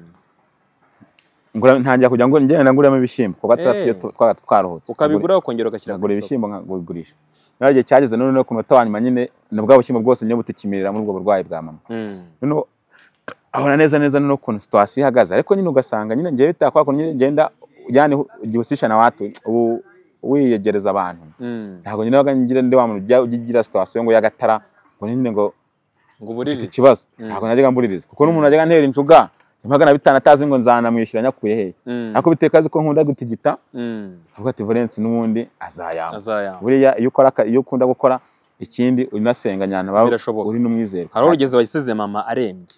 Mm. noneho icyo gihe ndibuka ko namaze nk'ayo mezi yose nyine noneho ibintu nanjye by'impuhwe byaranshizemo Mm. mbona umuntu wabaye nkumva ndi guseka kumva ari ibintu bisanzwe reka reka ntatereka umuntu ngo yapfuye ibyo ntacyo bivuze Mm. nyine nkumva kuba nkumva nyine ubuzima nyine nanjye ntazi ngo nibira mu isi Mm. yo kuntu atanye mama yarambwiye ati umwana wanjye kano gasozi ni ho navukiye. Ngakoreraho Mm. nakababyariyeho ntabwo nifuza kuzakagwaho kumva ubu nafashe umwanzuro ngiye kuzagenda nzagwa ku gasi. Nubwo njye muri icyo gihe najyaga nubwo na mama yabaga arwaye ko nawe ati nkunda muse ntabonekanye na mama nabaho gute? Mm. rero na byo bintu byajyaga bituma najya ngenda wenda ngenda no gukora ibintu by'iraka cyane mvuye ngo navuye mu ishuri ngo nagiye. Nagira nkahagaruka. Mm. kuko nanuza na hano hano mu majyepfo naho nigeze kujya kuva mu ishuri njya gukorerayo. Mm. hano ku mugomero. Ariko wagerayo ukagaruka. Nyine nageraho nyine nkabitekerezo nyine nkongera nkagaruka. Mm. nkasubira ku ishuri. Nasubira ku ishuri nkakubita igipindi aho nyine bakanyakira. Ariko nyine najya ku ishuri ukabona nyine amanota bado ndacyayafite. Mm. none ni bwo nageze aho mama arambwira ati mwana wanjye hano uri ni iwanyu. Arambwira ati ino nkuyirebe uyirebe iyi nka kugira ngo ibintu byose kugira ngo mube mumeze gutya. Urabyibuka neza ni cyo kintu cya- ni cyo kintu mbese cyatumye kano kanya mufatika. Nyine murya ubona nawe ko ushobora kubyuka kwa harya icyo kijumba tutajyashye n'ibiki n'ibiki. Arambwira ati iyi nka niyo nkuraza iki ni bya byajyaga wirirwa wirukanka n'ibiki n'ibiki. Kano kanya umuntu w'umugabo. Urumva nabimbwira nkabona ari inkoko. Nawe ati ugiye gupfa. Arambwira ati ntabwo nzi nimba nshobora gupfa cyangwa ntazanapfa. Ariko ikintu nshaka kuko ni kimwe. Kuko nawe bajya babona ko ndimeze nk'ikeko muri ako kanya. Mm. umutima ufite kano kanya. Byifuza ko ari bukomeze ukumva Mm. arambwira ati wa mwana uzakunda umurimo. Kandi uzubahe buri muntu uwo ari we wese ntuzamenye ngo umuntu uzakugirira umumaro. Mm. icyo gihe yambwiye amagambo neza neza yumva nanjye ndari ngiye kurira akomeye. Cyane. Tuvuga ati noneho ugiye hehe bambwiye ati rero twari dufite famiye nyine za Rwamagana. Ati basi ngiye kugenda mbegere. Bambwiye wenda ko wenda niyo naba mpicaye. Ariko byuba nta none hari ukuntu abantu muri karitsiye imana bakwisekera ese yewe urumva mu gihe cyo guhinga yabaga aryamye Mm. ese we ntawe ujya guhinga? Ibyo bintu bikamurya rero nk'umuntu Mm. wahoze wikorera arambwira ati ebana ndibuka ko icyo gihe nta n'ingemeri n'imwe yansiganye wenda y'ibishyimbo. Mm. ahantu twari twararagije inka niyo yagurishije ayigenderaho. Ibitike eh biteke nyine avuga ati nyine ndavuga ati basi wansigiye na bibiri. Arambwira ati aha ngaha ngusize we ngusize iwanyu. Ariko njye ahantu ngiye ntabwo nzi ngo hazanyakira gute. Mm. urumva? Uko wahanganye n'ubu- n'ubuzima ubwo ari bwo bwose kano kanya. Ntabwo nizera ntashidikanya ko nindamuka mvuye mu maboko yawe. Mpamya ko ari bwo ushobora kuzagira ubuzima bwiza. Mm. ntabwo mbiyeho ngaha ngo nkubere umuzigo ndavuga ati mana ntabwo uri umuzigo yageze arabyanga afata umwanzuro. Aragenda. Igihe rwamagana. Man ni bwo noneho nabonye noneho ukuntu kuba mu nzu ya wenyine ari danje Mm. mu gitondo nkabyuka nka saa kumi nkagenda nkagenda nkahira urumva? Nka iyi nyine ya nka ubwo yan- yansize igihe nyine ihaka. Nkayahirira noneho nkaza kubwira abantu tumaze kuyimera ubwatsi. Ubwo ku mugoroba nkaza nkajya nko kuyahira icyare cyane mu zindi situwasiyo. Ubwo nyine no gushaka twa tuntu tw'uturaka n'ibiki n'iki umuntu wese nyine ndi umuntu nyine wakora. Ucangacanga. Ntabwo ni hatari. Mm. Mm, ubwo nyine biba bigenze gutyo. Mm. noneho ubwo noneho ni bwo natangiye kubona no ku buzima noneho nta kintu kidashoboka. Kubera ko najyaga mvuga ngo abona afite mama. Mbona nuko nta bintu bimwe bidakunda. Noneho iki- icyo si byari ikibazo. Kuko ubu burwayi bwo nari narabumenye ahubwo icyo kibazo najya guhuranaga na cyo ku ishuri cyo cyari danje noneho nageze ku rwego noneho mu kuntu utayemerera reponse kandi noneho kwiga noneho binanira burundu. Mm. noneho ndajyana nidekarara ku barimu. Na diregiteri ndavuga ati mvura diregiteri ntabwo nzi nimba ari ibibazo mfite. Ariko njye mfite ikibazo kimeze gutya. Nubwo mpamvu mbona ngerageza ariko mba mbona gutsinda kwanjye bizagorana. Mm. muzambaye ndamuka ntsinzwe ninza gusubira muzanyakira abarimu bose nyine twajyaga tuganira banatwishaga bose icyo kintu narakibabwiye Mm. bose vanisi bimeze bite? Bati njye niko nyine mbibona. Nintsindwa muzareke nsubiremo? Rwose muzambaye nindamuka ntsinzwe muzareke nzagaruke kugira gusibira kuko numva atari imbaraga zanjye kano kanya ziri kunyobora. Abana ati valensi ntuzatsindwa n'ibiki n'ibiki ndibuka naje kujya gusenga rimwe urumva nyine ubwo nibana nyine. Tujya gutangira igihembwe cya gatatu. Twakoze amasengesho y'urubyiruko. Nyine muri adeperi oya. Muri rona ku mudugudu. Eh. Tutarajya gu- tutarajya gutangira igihembwe cya gatatu. Tuzajya gutangira nko kuwa mbere. Aho twajya duhura tugasenga tukararamo. Ayo masengesho ni ho twa- twa- twarayasenze. Tumakimara kuyasenga nongeye numva nyine nari nibereye nyine muri ubwo buzima ariko mba narahoze utamye ngo binameze gute. Mm. noneho nkumva abandi bari kuvuga urumva ukuntu abantu muba wenda muri kuganira mumaze nko gusenga. Mm. kumva abandi bari gutera utuntu tw'udustori byagize gutya none nkumva umuntu ararize barimo baramubwira arimo arababwira nk'ibikibazo numva nk'utubazo nyine kwacu ngo bandazaga hanze. Abareba nkumva ndarize iwacu twaryaga kabiri gusa. Eh, Eh, none sha. Ariko ubu nk'aba bakaritasi kweri ibi ni ibibazo koko? Ibi ni ibibazo ni iki? Eh, ndangije ni bwo navuye hose mani nk'ubwo nk'aho burijijwe ni iki? No kumva kuko ngo urumva ubwo izo izo situwasiyo mm. urumva yari yoroshye. turumva ku gahinda ubwo ibyo ubwo ibintu ikintu cyoroshye nkabyo ni ikihe? Mm. se noneho nimba wumva ko ibi byoroshye. Urumva ni umukobwa umwe icyo gihe ari umushyitsi. Tubwire ibyawe. Wowe ni gute wumva kuko nawe ufite kandi udashaka kuvuga. Ndavuga ati rero buriya nyine barankurikirana barankurikirana nyine najyaga numva nta muntu nshaka kubwira wenda amateka yanjye ho gatoya. Mm. ariko nababwiye nyine kuri ibyo ngibyo byo wenda byo ku ishuri najyaga ngira. Ati ngira mfite ikibazo sinzi. Iyo ndi mu ishuri ngira mu ishuri ubwonko bugahita bugenda. Nawe ndi mu wenda hanze wenda nkumva amapiri. Bateze bujyahe nguko nyine Mm. bati mukambaza ubusa. Nyine nabaga mfite no bya bisubizo byahuranye noneho ni bwo sinzi ko nagize uwo mukobwa n'uwo yari umukobwa. Noneho nyimuganira story no akuntu nkabona atangiye kujya mu mwuka. Tangira kuvuga indi batangira kuvuga indi batangira kuvuga indi baravuga ati vare tuza kurangiza amateraniro. Tuza gushaka amazi y'umugezi. Mm. yazana Ndavuga ati, "Se, nzana angahe iri jerekani avuga ati niyo wabona litiro. Icyo gihe rero iwacu nyine iyo imvura yagwaga nta muntu wa- wavomaga. Ndavuga ati mwarareka mana yagasani twararekaga. Amazi y'umugezi ndayakura hehe nirukanse isantere yose nshaka amazi y'umugezi kubw'amahirwe mba- nzana litiro arayasengera arayasengera arambwira ati dore bakoze ibisazi. Kumva? Biza gutya biza gutya biza gutya nyine ambwira na situwasiyo zose nyine uko izo situwasiyo yagiye igenda. Aragusengera. Inshuro nyinshi nyine koko yabimbwira nkabona ibyo bintu nyine nambwiye nyine nabifatiye n'ibi byose. Ndabibona. Arambwira ati n'ikimenyimenyi ibyo bigiye kugenda gutya na gutya. Ukigera mu ishuri bigenda gutya bigenda gutya. Byose nkasanga ubuzima bwanjye ni ubu nyine ni bwo buzima nihorera. Ahitamo kondisiyo arambwira ati ariko arambwira ati mbabara mubwire ndo mubabimbwiye abantu baravuga turamenye uramenye numubwira Valence uramwica ati ariko reka mbabaze. Kuba ntarapfuye kandi barifuzaga ko mpfa ukeka ko ako kabazo ariko kantu mpuye nako kadanje. Mm. wapi njye ahubwo mumbwire menye ukuntu nabigenza. Ca, amasituwasiyo yose. Mm. sinkubeshye sabe hari imbaraga z'imana. Yamazina narayanyweye andi bayanyuza mu mutwe. Urumva? Wumva ubaye muzima. noneho hari ukuntu ujya kumva ntabwo bihita biza ahubwo hari ukuntu noneho utangira na yo kujya noneho utekereza ugatekereza nk'abantu. Na kwa kundi wajyaga wenda uhora uri mu buzima buri free Mm. umeze nk'umuntu wanyweye. Noneho ugatangira no kumva nawe utangiye kuba nk'umuntu ufite uri weakness. Kuko igihe cyagize n'ibitugu nkumva ki- meze ni nk'iki? Nk'umuntu uremerewe. Ya cyane. Ugatsiko ku mana kuko uyu muzigo ni bwoko ki? Nkahora nsema ati mana kuko niki kikure kuko igihe cyagize noneho nkajya nsenga numva ubwonko bwo bwararangiye. Nkabwira imana nkavuga ati byibura mana. Ndi gukoresha umutima gusa. Basi bwarimo wambabariye basi uzansubiza mu maso y'iki y'abanzi banjye kuko nawe waragiye ubona ukuntu kuko ufite abantu bakugendaho Mm. ku munota wa nyuma wenda ibyo ngibyo na byo mbivuyeho ntangira koroherwa. Noneho nza kuza kujyana none mu yandi masengesho y'igisha ahantu bita igisha. Mm. Nimba uyoga ujya uhumva urumva? Yego. Eh, noneho ubwo twari tugenda saa moya tukageraho nka saa tatu tugasenga tukavaho saa cyenda tukageraho saa kumi n'ebyiri nkahita nahira nk'ubwatsi nkahita njya kwiga. Iyo situwasiyo niyo nyine hari bakundaga kuba icyumba. Noneho nza kujya muri cyumba cyaho ngaho. Noneho ndagenda ariko ubwo nagiye nari mfite icyifuzo mvuga ati basi wambara ugakiza mama. Kuko numvaga nyine umutima wanjye agahinda kanjye kose ko ari kuri mama. Mm. ngiye ahubwo none imana birambwiye ati mwana wanjye nguhe diporome kandi y'amanota meza. Nk'uyu yarampa diporome mu biki ndi kuvuga ngo akiza mama ngo diporome ubundi imana yo ntabwo ibona ibintu umuntu akeneye. Ndavuga ati ariko nyine nta kundi. Ubwo nyine nza muri iyo situwasiyo nyine. Ariko ako kantu ngize gute? Nkibitseho. Urumva turi kubura amezi nk'abiri ngo tugire gute dukore- ikizami.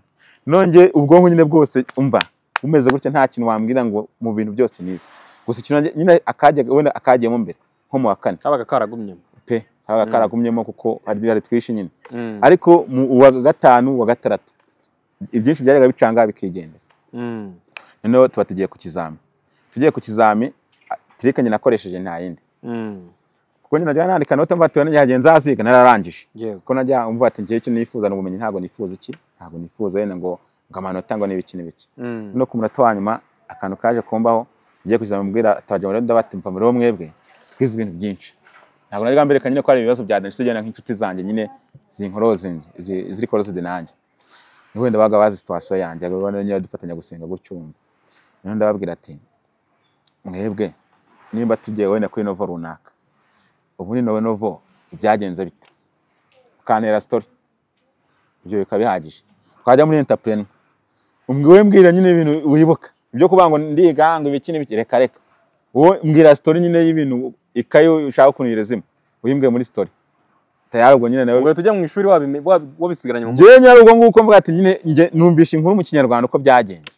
Ibindi wibimbaza. Mm. ukumva wenda nkiga nk'utuntu twa type n'udukino du- dukeya nyine. Akenda ari kwideburira Mm. singweye sabi. Naragiye kwa kuntu imana yabimbwiye nabwiye imana ndavuga ati nahise nyiha amanota nshaka. Bati aya ni ntayabona niyo diplome uzayihorera urakora ubona diporome ku bw'amahirwe narakoze diplome ndayibona. Nimara kuyibona sinkubeshye pe. Narumva sinatinya kubivuga n'ubundi abo twiganye n'icyo barabizi. Mm. Umwana wajyaga uba nk'uwa kane wa gatanu gutyo. Sinajyaga ndenga aho ngaho Mm. ariko noneho najyaga ku- kujya mbamo uwa makumyabiri na batanu twiga muri mirongo itatu n'umwe nabwo nabaga ari ishaba kurangiza nyuma gatandatu Mm. kuba makumyabiri na batanu. Byaga ari Mm. ariko ikintu nakundiye uwiteka. Kuri diporome mu bo twakoranye bose naje ndi uwa kane kumva ndavuga ati cyakoze. Nyine hari ukuntu wishima ukumva. Nyine nawe sinzi. Nyine se wenda amarangamutima yaragiye ariko ukumva gati cyakora mani nanjye nkora akantu umutima wanjye utazibagirwa.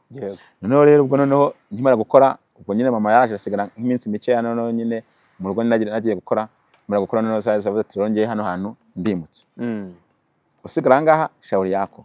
Byanga nyine niba tugendana tayari. Aba cyangwa hano aragiye. ugiye ni hehe? Agenda nyine ajya ahandi rwamugana yaragiye nyine aratisha arahinga abayeje imifuka itanu y'ibigori avuga atanu nkera gutya sinaba Mm. ati ahubwo dushaka ukuntu twagura isambu. Twashatse uburyo bwose bushoboka yanka yari na yo yari imaze kubyara. Nari narasigaranye murazigurisha zombi twahise tuyigurisha indi nka nanone y'ahandi twari twararagije muri iyo myaka nk'itatu na yo baragenda barayitanze noneho abaguzeho isambu. Mm. nakigura isambu iyo nka rero ikintu cyambabaje ko sino kumbabaza nahise mvuga ati mujye muva ku bintu inka yabyaye nk'uyu munsi nara- narangije egizami nyine Mm. urumva? Tera ko ni- niyo nka bagurishije ntanayikamye nkumvishe ngo n'amata yayo ngo ameze ate? Mm. bayigurishanya n'iyayo. Tuba turagiye. Tukimara kugenda agura nyine ahantu nyine mu isambu ariko itagira inzu. Mm. noneho akambwira ati se rero nabonye akazi mujya kubi rwamagana. Rwamagana. Mm. Mm, arambwira ati se noneho.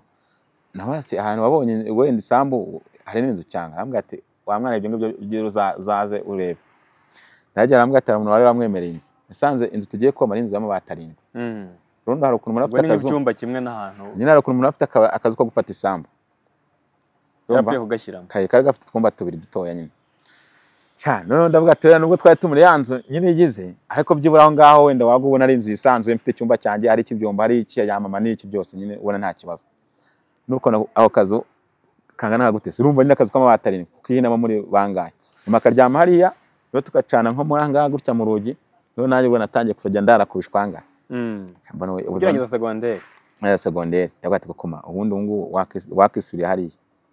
Wacyana we ntabwo mu buzima inzu niciriyemo aha ngaha uraburara ibiki nyine urumva ntera ya masomo yatari rero nk'ubu nk'aha ngaha urabona noneho umuntu ashobora guhinga nta fumbire ibintu bigakunda. Nkaho ndetse ngo dushyire amaboko hasi dukore noneho uri mu bintu nk'ibyo ngibyo bi- bi- bitampaye agaciro. Yari yaramforomye nyine koko naragiye ku murongo bya bikoma byose byaranshizemo. Haciyemo iminsi ngahe ntangira kujya nshaka ikiyede nyine. Ndavuga ati muri karitsiye utazi nawe urumva ubundi ukayizenguruka Mm, niba ngeze muri karitsiye ubundi hari abantu batatu mba ngomba kumenya. Umuntu ucuruza butike tuba tugomba kumenyana. Mhm. umuntu wenda nyine ufite umuntu wogosha Mhm. nawe tuba tugomba kumenyana. Mhm. wenda n'umuntu nyine ukora utuntu nyine twaho ngaho nyine ubona dutanga akazi. za serivisi delegite abo bantu mba ngomba delegite Mm. ahantu hose ngeze byanga bikunde mbahiga ibinyamakuru yabo noneho ntangiye kumenya ubundi n'aha ngaha umuntu abaho gute. Aho noneho rwamagana rero ho naba wenda no mu zindi nce. Rwamagana akazi hari igihe kigira cy'akazi. N'igihe kigira kakabura neza neza burundu. Ikancanga noneho nza kujya gukora ahantu bita mu gahozo ngiye ngiye gukoramo ikiyede.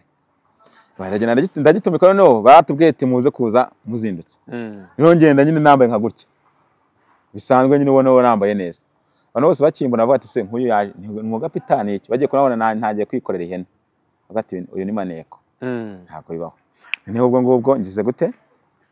Birancanze noneho ndavuga ati ariko ntacyo ubwo ninjiyemo niyo birahagije. Mm. iminsi mike ngera nyine ntangira kuyusika nabo ejo nkabwira umuntu uti ubundi ngiye buriya no kubaka nari mbizi kuko n'ubundi n'ahandi urumva wakoze n'ubundi yari cyane ntacyo uba ugize ubu noneho ntangira kuba hari ukuntu bajya ati ni umuyede maso. Mm. ubwo nyine nkaba ndaho ngaho ariko nkaba ndimo ahantu hatirukanwa. Mm. akazi k'ubuyede kaboneka ndimo.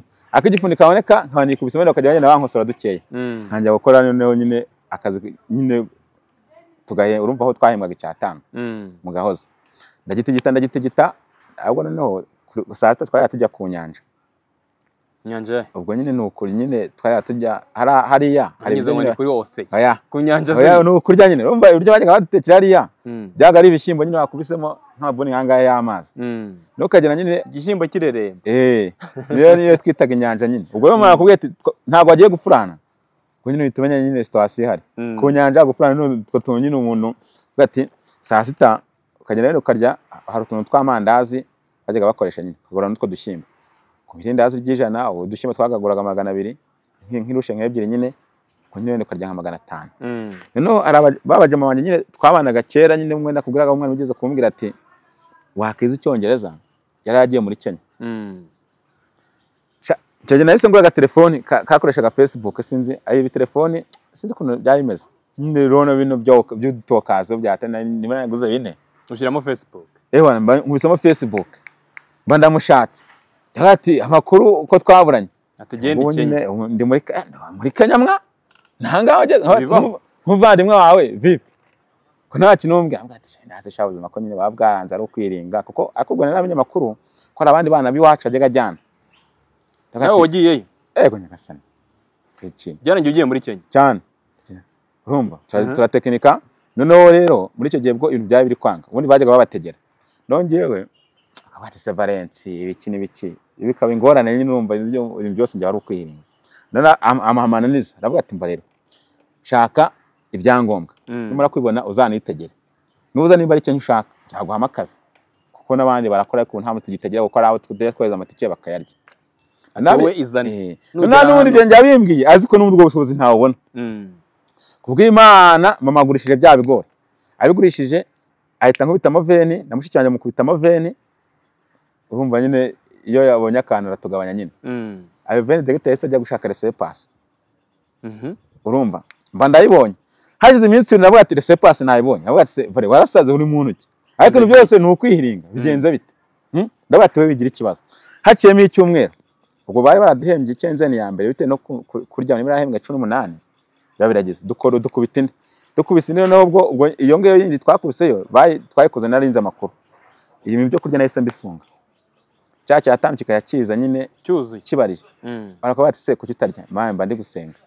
Ugasenga uri ku ihene ugasenga uri kirumva akazi k'ikiye imana kaba karuhije byatari. Kandi amasaha hafi icumi ngira. Nuko nyine numva twatunanira saa moya n'igice hariya tukava mu rugo tugatanga saa kumi n'ebyiri. Mm. nkagenda nyine nagera mu rugo mama nawe akaba azi yakunda gushigisha igikoma cy'ibigori. Nkahita ncyuhurura ubundi nyine koko nkumva ubuyanja buragarutse rero narangiza ndumva hari bitewe hari ukuntu umuntu akubwira ibintu? Wenda nk'uko umpamagaye ndi hano. Mm. ubu umpamagaye ndi mu gasharo. Ariko imbaraga nkoresheje ni nk'icyo gihe nk'izo nakoresheje nyine. Icyo gihe wahise ugenda? Ube bayakibimbwira haciyemo nk'iminsi nk'icyumweru hari kimwe. Kindi ndavuga ati tiki nayibonye. Ariko ubwo nayibonye itike batarahemba Mm. ahubwo nagiye negera mu gapita wanjye ndavuga ati mva rero bose Mm. mbonye ukaze yo kujya muri Kenya. Ukumva? Kandi amafaranga nifuza aya mafaranga ino cyenze nora n'undi ntabwo nayitegereza. Mm. ubundi wayampaye wenda nkaguhamo makeya utundi ukatumva Mm. arabyemera n'ubundi mukubitamo gi- nimba ari gitanu nimba ari angahe?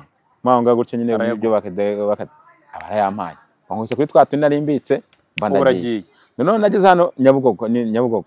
Nkihagera mbajije amakuru arambwira ati ntiwagenda udafite eurofebe kandi itike nari mfite ibihumbi mirongo ine byuzuye. Ari itike? Ari itike. Noneho biranca ndavuga ati ndabigenza nte?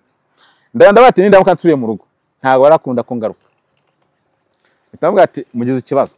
Ku nshuti zanjye zose nyine. Murabizi ko nababwiye ko nyine uyu munsi mfite urugendo. Mm. none njyewe nakatishije.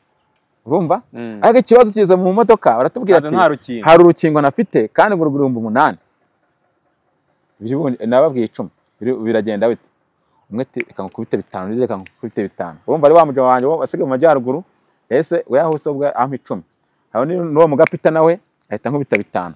Avuga ati mwana wanjye ugenda uge- uge- ugerageze ubwo ni bwo cyagiye imipaka ya Uganda bibiri na cumi n'icyenda yari ifunze. Mm. ubu byasabaga guca Tanzania. Kandi Tanzania byasabaga kwitegera nta modoka yagendaga direct iri hari Mm. rero ibibazo byo kujya kwitegera n'ahantu utazi naturutse nawe kwa nagezeho kwa gatanu. Tukagenda aho ngeze Karara nkarara ku nzira. oya nta kampani twaciye Tanzania. Mwa- nagenze mwaciye hano. nkajya runzewe ngera Arusha ngera Mwanza ahubwo ndaharara nundi ndagenda ngeze aho bita Sebani ni ho navuze ati "Uye- wera wa Israel Imana abanye nanjye ndi ku ishuri. Ntanga ngero nyigaragariza Mm. narahageze nkinjiye hariya muri gasutamo nyine. Urabona bakuramo abagabo b'ibirokoroko yakubita icyongereza nkumva icyongereza ari gukubita ntacyo ndi kumva. Mm. noneho navuga icyongereza nanjye nyine wenda akabyumva ariko nyine turaruhanya arambwira ati umva rero subira iwanyu. Agagiye kirakubuza amafaranga yose natanze nsubira iwacu. Gute? Ku rutana turasira turasangiza umva rero wa muvandimwe. Uko mbona gutya niko ndi? Reba no mu mifuka. Eh, nki- eh, aka- eh, ka- nguko nyine. urumva yashaka akantu urumva? Noneho urumva arambwira ati ugiye gukora muri Kenya biki ati ngiye mu kazi. Akahe kazi? Bikanca urakabura. Kandi umuvandimwe yambwiye ngo arampa akazi. Gute? Akavuga icyongereza nawe akubita ikinyarwanda n'icyongereza gipfuye n'igiswahili byose nkabiremekanya ariko tuka- tukagendana. Mm. ageze ku munota wa nyuma arambwira ati turabizi. Ahita ansinyira ku ngo visiti icyumweru Mm. ahitamo icyumweru ngo ari cyo nzamara muri Kenya. Rero saza nkigenda nkigera aho bita Sebania rero. Ubwo mvuye muri gasitama baransinyiye. Nari mfite ibishiringi nyine bagenda banantuburira. Ngiye kubivumisha mu Munyakenya bivamo turuwasi ibihumbi magana atatu hoye bivamo ibiceri magana atatu ibi by'amanyakenya bamwe ati kugira aho aho uri bugere byibura. Magana atatu ubwo ni bitatu byo- ubwo ni bitatu byo muri bitatu byo mu rwanda. Eh, ni bwo ni nka turuwasi ibishingi by'amatanzaniya nyine ni byo nari nsigaranye. Noneho ndavuga ati wamane kuko ndabigenza nte? Noneho nkatangira kuvuga ati ko bari bambwiye ko bimeze gutya avuga ati none urashaka iki? Fata turasa zawe ugende ahubwo ikintu cyabiteye hari umumotari wari wantwaye ndetse kumwishyura mu ma yari yanciye magana nimba ari magana arindwi y'amashiringi y'amanyatanzaniya. Noneho amenye ko mfite amanyakenya ahita anyisazaho. Ati nutama amanyakenya ndakwica. Urarekura urayamuha yamuhaye gutyo. None kenya ugezeyo? ahubwo no Kenya South naragiye mba ngezeyo. Nkimara kugerayo ni ho nsanga babajama nyine akazi bikorera ni akazi ko gucuruza amandazi. Mm. sinzi ngo banakora n'ibiki. Mane none dore ibintu byancanze urumva nagezeyo ntangira ku mushahara w'ibihumbi bitanu mu kwezi. Akubwo batugaburira banoda nawe kuraha ubwo twari Mm. nk'abajama nyine benshi urumva bazungusha bazungusha ngo umu. Noneho ndangije ninjiyemo. Ubwo urumva n'ururimi n'ibiki n'ibiki nyine bikagucana. Noneho bagwaga amandazi wenda nka magana abiri na mirongo itanu. Ubwo ukazana bibiri magana atanu nyine. No muri ayo mandazi baguha amatanu yo ku- yo kurya oya yo kongeza aba- abakiriya noneho bakaguha na mirongo itanu bakaguha na senkani yo kuza kurya ranch Mm. noneho ayo senkani yo kurya yo niyo byabaga ari ikibazo n'abajama benshi nasanze nasanze ari cyo kibazo bafite. Bagukubita agasenkani bitewe n'akazi wakoze k'imbaraga. Ugasanga wowe ugiye kurya warya na magana atanu ntaguhaze kagucanga. Noneho Mm. umwanya iyo wakire kuri wakire kuri igifu cyawe ugasanga ugiye guhembwa uri muri mayinasi. Mm. noneho ngiye nagezeyo ibintu noneho birancanga. Noneho ndavuga turabizi ahantu ngomba kuhaba. Nyine bwa buzima nyine situation noneho saa itangira kugenda ingarukamo. Rero ati kuki bino bintu najyaga mbyanganira bigakunda bati mbona no senkani bampaye. Saa sita hari ibintu by'imineke bajyaga bafungura urabona bino bintu by'imineke urabona ukuntu abantu bapfa kuri imineke Mm. ibyo baba bakandagiye n'ibiki n'ibiki. Noneho bakabifunga ari imifungo nka z'ikine. Eh Mm. nka bitandatu makumyabiri cyangwa bitanu gutyo. Buri muneke wagu- wenda wagura gatanu umuneke mwiza cyangwa icumi. Mm. mwiza mwiza nk'uko nawe ugura ijana cyangwa se nkane. Noneho hari abafungaga nk'ikirundo cya bitandatu makumyabiri. Ubwo nakumva bigeze nka saa sita nkahita nkubita icyo kirundo cya veni nkasigara na tarani. Nkikaraga nkikaraga nakumva nk'uko ugiye guhera. Ubwo nkahita ngura ahantu nk'icyayi cy'icumi hari nyine hari aho hari icyayi niba ari icyayi simbaza uko kiba kimeze. Ni nk'agasukari nyine bashyira mu mata ntumenye ngo bimeze bite. Ukanywa. Nyine ukanywa. Nkahita nkirisha ya mandazi yanjye abiri yarengagaho tayari najya muri rwo nagurisha bayamara. Ntabwo najyaga mpfa kongeza. Ngo na ya nyongezo nyine wenda akaba ariyo nza kuryamo cyangwa se ubwo bitaba byashize nyine Mm. ubwo nyine nkabisubiza bakakubarira n'iki byose. Noneho ubuzima naho buragenda buramvanga ari hantu noneho ugira uvuga ati ubundi najyaga hehe? Birancanga. Byari bigeze bibiri na makumyabiri? ubwo ni bibiri na makumyabiri kuko bibiri na cumi n'icyenda nagiye muri Kenya. Mm. genda mpishimira ko nageze mu mezi nk'atandatu birakuva. Numvaga ngiye ku- kuruka. Wamba wariya basi. Gasubira i kigali. Tu! Kuko wahavuye gute? Kugira ngo tugere i kigali twumve ukuntu wageze muri so Kenya rero ubwo igihe cyarageze noneho ndikorana nabo n'urugendo rwinshi rutandukanye nyine mpura na byinshi biki n'ibiki no nza kugera no n'igihe nsa nk'umuntu baje gufatikamo gakeya ntangiye no kugira utuntu nyine urumva agafaranga nyine tu ubona bi- bikunda. Noneho igihe kibaho mama aza kongera no kurwara.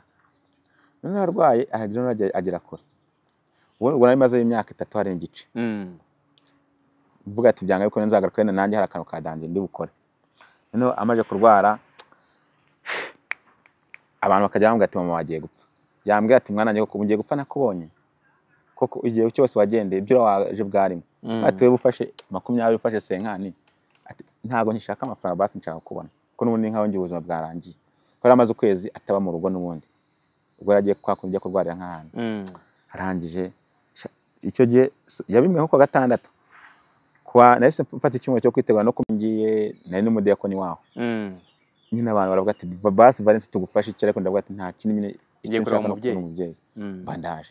Mageze nyine turaza turarwaza rwaza abarakize ubwo aho ngaho hariya nkihariya nari nkunda gukurikirana ibiganiro wenda by'intanga bitandukanye n'amashow y'ibiki n'ibiki nyine Mm. by'intuza wenda bya muvubi ntangiye kujya mbikunda cyane nubwo wenda najya mbikunda ko nari nzi ko ibintu bya YouTube sinari mbizi. Mm. ubwo YouTube natangiye kuyijyaho n'ubundi njye naraguze ka smartphone.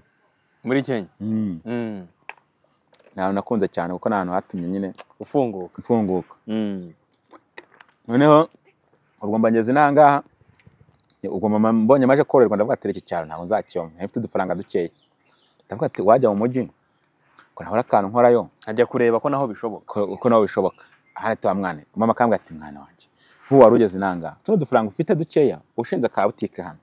Najya nkunganira n'ibiki n'ibiki nawe ubuzima ukabona. Urizirwa wirukanka uzageza ryari? Ku mutima bati ibyo nyine ntabwo ari byo nkeneye. Noneho hari ahantu nari nagurishije inka nyine mu majyaruguru nari nararagijeyo Mm. ubwo n'utwo dufaranga twagenda tuncuka nyine. Barambwira ati barayigurishije niba baha hatatu n'itanu. Noneho umunsi wo kuyampa hajemo ikindi kibazo nyine ntavuze uyu munsi Mm. ariko na cyo nyine wakireka. Mm.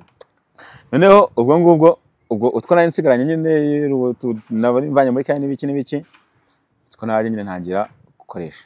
I kigali. Eh, nkubita amezi ayo ane byaranze neza neza burundu. Urumva? Ndangije ubwo nyine nakubuze amezi ane muri inaha ntarabona n'ahantu nakora igiceri cyangahe. Ubaheze. Numva nakodeshaga nanihiringa nyine gutyo. wakodeshaga inzu nta kintu ukorwa Nta kintu muri nkora kigali nyine. gusa. Evan, byari noneho birancanga njya mbona abantu babyuka birukanka. Mu mujyi nyine urabona ko abantu babyuka bacanga. Nawe nkabyuka nkabacanga. Ukabyuka noneho bamwe nkabona bageze kuri tarakomu umwe aciye undi aciye undi aciye. Man nihiringa mu bintu byinshi noneho ku munota wa nyuma ni bwo naje noneho guhura na ba nyambo. Mwahuye gute? Nyambo rero urabona nk'uko njya naguhamagaraga. Mm. uriya yongeyeho nagushatse nyine. Upfa kumbwira ati turavugana ariko ntabwo nabivuga none nzabivuga ikindi gihe. Nyagasana azaguha ubukire nzabivuga eh ukumva? Noneho uriya hari umuryango w'indegitinga nyine ya ya ntuza uriya producer. Mm. rero ziriya nimero nyine yashyizeho. Mm. namuhamagara ati nitwa Valence gutya na gutya byinshi cyane bitandukanye. Nakambwira ati njyewe nshaka nyine umuntu wenda ucangamutse ariko wajya afata ino de message akaba yandika no mu cyongereza. Mm. Ibyo ko ari nshoboye ngibyo ni ikibazo se.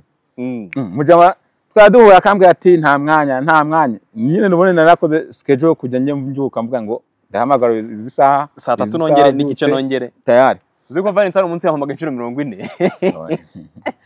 Oya ntabwo ari bivuge neza humura. Urumva noneho ku munota wa nyuma arambwira ati nsanga kacyiru. Nari ndi hano hano muri alliance hari kuko na- na byo nabibayemo no muri alliance wagiyemo wabaga wambaye ikoti. Eh cyane. Nta kintu kibazo nko kwambara ikoti nta n'inote y'igihe umufite man inzara yo muri alliance yo sinyivuzeho. Uri kumva? Eh. noneho ubwo ari imbwa yasize umujyama icyo gihe nta mafaranga nari mfite. Ndavuga ati "Mwana, ntiza agahumbi amafaranga arabonetse. Tugiye kacyiru. Ngiye kacyiru. Ugiye mu biki? Se ngiye guhura n'umukire. Ur- urabizi. Mm. mwana barakankomye. Akankomye ndagenda tuba turahuye. Duhuye no ntangira kumubwira nyine urumva kwa kuntu nyine ugenda unicamo n'ibigihunga n'ibiki n'ibiki byose nyine. Akumva nyine ndi kuvuga nyine harimo ibyuma bikaba bitanumvikana cyane. Avuga ati wowe shira impumu umbwire. Ubundi warakinnye mubwira situation nyine ndahari ibindi wenda one day wenda tuganira neza nka- nk'amateka hariya. Hari ayo umuntu aba yagiye acamo nyine ubona uramubwiye? Eh ndamubwira. Arambwira ati rero wowe ndi kukubonaho? Ntago kano kanya wari wamenya gukina. Yego yes. Noneho wowe ngiye kugufasha kujya kuri kamera. Ariko nawe ibitekerezo byawe ni byo nshaka. Ko nagiraga story irambwira ati ndi nkura dushoti mu zino za the message n'ibiki n'ibiki. Mpita mukubita nk'eshanu zi- zikurikiranye kandi zi- ziri faye kugira ngo aravuga ati izo ugenda uzinyandikire Mm. ndamubwira ati noneho wowe rero ngiye kuzagucisha kuri kamera ariko ugire gute? Nyine ubwo wowe ibitekerezo byawe ni byo nkeneye. Nuko nyine ninjye wenda kwa nyamba umunsi wa mbere naragiye ni we waguhuje na Kiramani ubwo nyine nguko nyine Mm. noneho ugomba mpinjiye turakora nyine ubwo nanjye mbaha nyine ntanga nkamu- nyine nkamubwira we agahita ashyiramo abakinnyi nyine ashaka ibyo ngibyo byuma kuko naguha igitekerezo ukazagikoresha abantu ushaka Mm. tayari noneho nyine ngenda mpamenyera gahoro gahoro nabwo nari mu buzima bugoye noneho ubwo haho none urumva nari maje kugeraho mbonye mbonye wenda base ariko noneho nta n'igiceri na kimwe nta kazi na kandi wirirwa mu kazi Mm. nyine urumva hari ukuntu urumva hari anakoraga yo kuwa mbere uri kumva noneho indi minsi yose ugasanga akazi nari mfite kari aho gusenga gusa. Kancanga. Ndavuga ati rero ku munota wa nyuma ibintu ni danje. Nindabuka nsubiye mu cyaro kuko nawe waragiye ubona neza ko noneho umujyi wakunaniye burundu. Ndakora iki? Nareba abantu neza neza nkabona nta muntu ntafi- ntafitiye ideni. Birancanga. No muri telefone? Telefone barasabye Eh, ibyo twituriza Mm. Mm. Noneho wazaga abantu muri kumwe ubafitiye amadeni. Telefone nyine nta muntu ufite ideni noneho mama yambara ati mwana wanjye umeze kuko ibyo kurya byaraboneka ko ndamubwira ngo meze nabi a- kuko mama yambara ati nuramuka udashoboye ku- kugaburira nawe igifu kugira ngo taha zagaruka. Ati, Mm. ndasubira mu cyaro gute? N'amafaranga nari mfite n'inama zose ngiye nkaza- nkazanga rero ati rero nintashaka ikintu nkora. Nyine kwa nyabubwo nyine nabonaga wenda ari ahantu nazakirira. Mm. ndavuga ati "Ha- hari buncika urumva iyo uri kumwe n'umukire iyo ubuze yashyira mu ndi nyambo mwizirikaho eh ni bwo nigiye inama sinzi umujama. Icyo gihe byari byarancanze kuko nacuruje n'imyenda nyizunguza bamfata gatatu bayitwara. bayitwara. Ibintu biramvanga neza neza. Noneho ngeza ku rwego noneho wajya gutekereza ukumva umut- umutwe uri gu- uri gucumba. Noneho sinzi umujama agize gutya nateye igipindi ubwo nyine mu bandi wa- bo mu rugo nyine ntajye naka amadeni ko ari byo byazajya bincanga nyine bati "Nije, murare kuko twarabanye Mm, kankura umusenga kibiri. Mm. Ejo- we ejo ndayaguha. Ikanca ariko nyine nkahora mushyiramo icyizere urangiye wo nkuri imideni nguhamagara cyane. Mm. kugira ngo abone ko nta kibazo. Nta kibazo. Mm. umujama nguriza ibihumbi icumi. Anguriza ibihumbi icumi ubwo nari nari maze iminsi nyine urumva muri uko kuzunguza imyenda kuwa mbere najyaga gukina ubwo nyine navayo nko kuwa kabiri nkahita njya hano nyabugogo nkarangura imyenda n'ibiki n'ibiki naramya no kubirangura bakampa n'ibibi bikanandatiraho bimwe na bimwe. Noneho hagiye nacuruza nk'ipantaro ugasanga ndanayiriye n'inyungu byose birajyanye. Mm. ku munota wa nyuma ni bwo naje kwigira inama yo gucuruza amagi n'ubunyobwa ukiri kumwe na nyambo? Ukabicuruza kuri setari? Oya. Nirumva ngewe twumva najyaga umukara sibyo? Mm. urumva bisanzwe. Kuko Mm. ntibajyaga bampemba n'itike ubwo muri icyo gihe byabaga ari n'ingumi urumva? Kuko rero niwo umushaka nyine. Rero nava- navayo nkahita nza nkahita ewana wenda kwa mbere bose najya nkora. Kwa kabiri nkahita indobo y'ubunyobwa aha kuri mirongo ine. Abantu bose bazi ko ni mu Kenya nyine ni mu ni byo nyine byose. Nta muntu wese tuzajya dukubitana na bafite abakiriya ba danje. Aho ngaho muri ibyo bihumbi umunani magana atanu byo nagenda nguza ubunyobwa ko n'indobo bwa mbere nagiye gucururizamo. Umujama wayimpaye gusa naguzemo akabasi ka magana atanu. Amagi ndibuka nyateka hari abamama tubana mu gipangu. Niwe umwe wa mbere yantije isafuriya. Yo gutekera. amagi. Mm. Eh, noneho wa kabiri noneho ku munsi wundi abonye nyine gutegera mu gasafuriya ka feke. Aravuga ati reka ngutize isafuriya nini. Ajya agatekeramo isombe.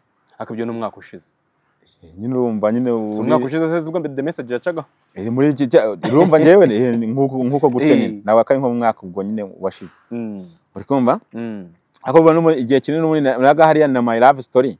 My love story buriya twayikinnye ncuruza amagi. Mm. kiramani se muhura mute Kiramani rero twahuriye nyine urumva kuri seti nyagenda nyine nanjye mubwira utuntu. Bati wazaritse nkaza kuri seti yawe. Akaba ati haba hari abantu benshi n'ibiki n'ibiki abya ati nzakubwira nzakubwira ariko uwo muntu wabwiye uti ngomba kuguhamagara. Ubwo nyine tayari. Twe noneho tuni nari kumwe we Kiramani ariko buriya njyewe mba nshaka urumva hari najyaga ntanga ibitekerezo bati uranjye mbona imikorere yawe. Nifuza ko nangaha hari ibintu twanahinduramo. Ariko ni that's why nifuza kuba naza n'iwawe nyine nta n'ukuntu ubikora nkamenyana n'abantu. Mm. Rimwe ageze gutya sinzi itara hari itara twajya dukoresha kwa nyambara avuga ati uze kuzarinzaniye kuri sete. Ndavuga ati iri ngiri ndarifata nk'amata y'abashyitsi. Itara narayizanye mu gikapu original. Mm. noneho ndarimuha bararyesitara n'ubundi bisanzwe. Ubwo nirwa aho ngaho bagiye kurya none akantu kajyaga kaba kwa kiramani muri icyo gihe. Ukuntu bajyaga bajya kurya nk'abantu babafiga akabati ngo mutahe umuntu wakinnye se nimwe mwitahire mwitahe. Wowe ntutahe. Akavuga ati mane gasani ibyo wenda nirira hano ibindi ubundi. urumva Eh. ubwa mbere buri itara ndarijyanye no ku mugoroba ba- baba bafunze nawe ati se boss ndibike se? Cyangwa rirage ati ntaribi? Rizane. Rizane. Toya utararitwara ndabatoya ariko Eh. reka n'ubundi ubwo njye nanganya atware. Ati ya sava n'ubundi kuko bajyaga aya- ayategera ntari yatwara Mm. ubwo n'ejo mba ndagarutse naje nk'iminsi nk'itatu. Ubutayageranya nkubitamo agasani kawe urumva twari tumu twaramenyanye hariya nyine. Mm. ariko noneho ikibazo cyari kibaho ni icyo kujya kurya. Kuko nyine aravuga ati njye simva ahantu hariya kuko naravuga ati nindamuka ngiye mu rugo? Bumva muri iyo situwasiyo yo gucuruza amagi nyine hari ukuntu ubonamo agashoro wakaryamo ukabona biranze. Mm. noneho nkagenda nkariya nyine aho najyaga ndangura nko mu miduha nkikopeshayo nyine ugahora muri bwa za situwasiyo nagiye kuri seti imwe n'imwe nateze kandi n'isindi buhembwe birancanga. No ku munsi wa mbere no kiramana ajya kumpa amafaranga. Uwo munsi nongera nsingiza. Mm. sinzi ukuntu naryamye ndyama nasenze. Na yo ngiye kurota ndota inzozi ngo mbona ngo kiramani ngo ari gutekera ngo hehe ngo ku rusengero. Mm. yabatse kiramani ari koko. Ateka inzu zo gute. None njya muciye ngo ngiye kwihagarika ngo ngarutse ngo nsanga ngari kurya inyama rero ngabura ukuntu ngabigenza ngo amaho gatoya. Nyine ngako yari afite ngo barakampaye. Mm. bati se nguyu njaburiramo akampa indi. Ndavuga ati mwana ibi ni iki? Narakugendera noneho icyo gihe nyine twirwayo. None icyo gihe nari nanjye gufata sound.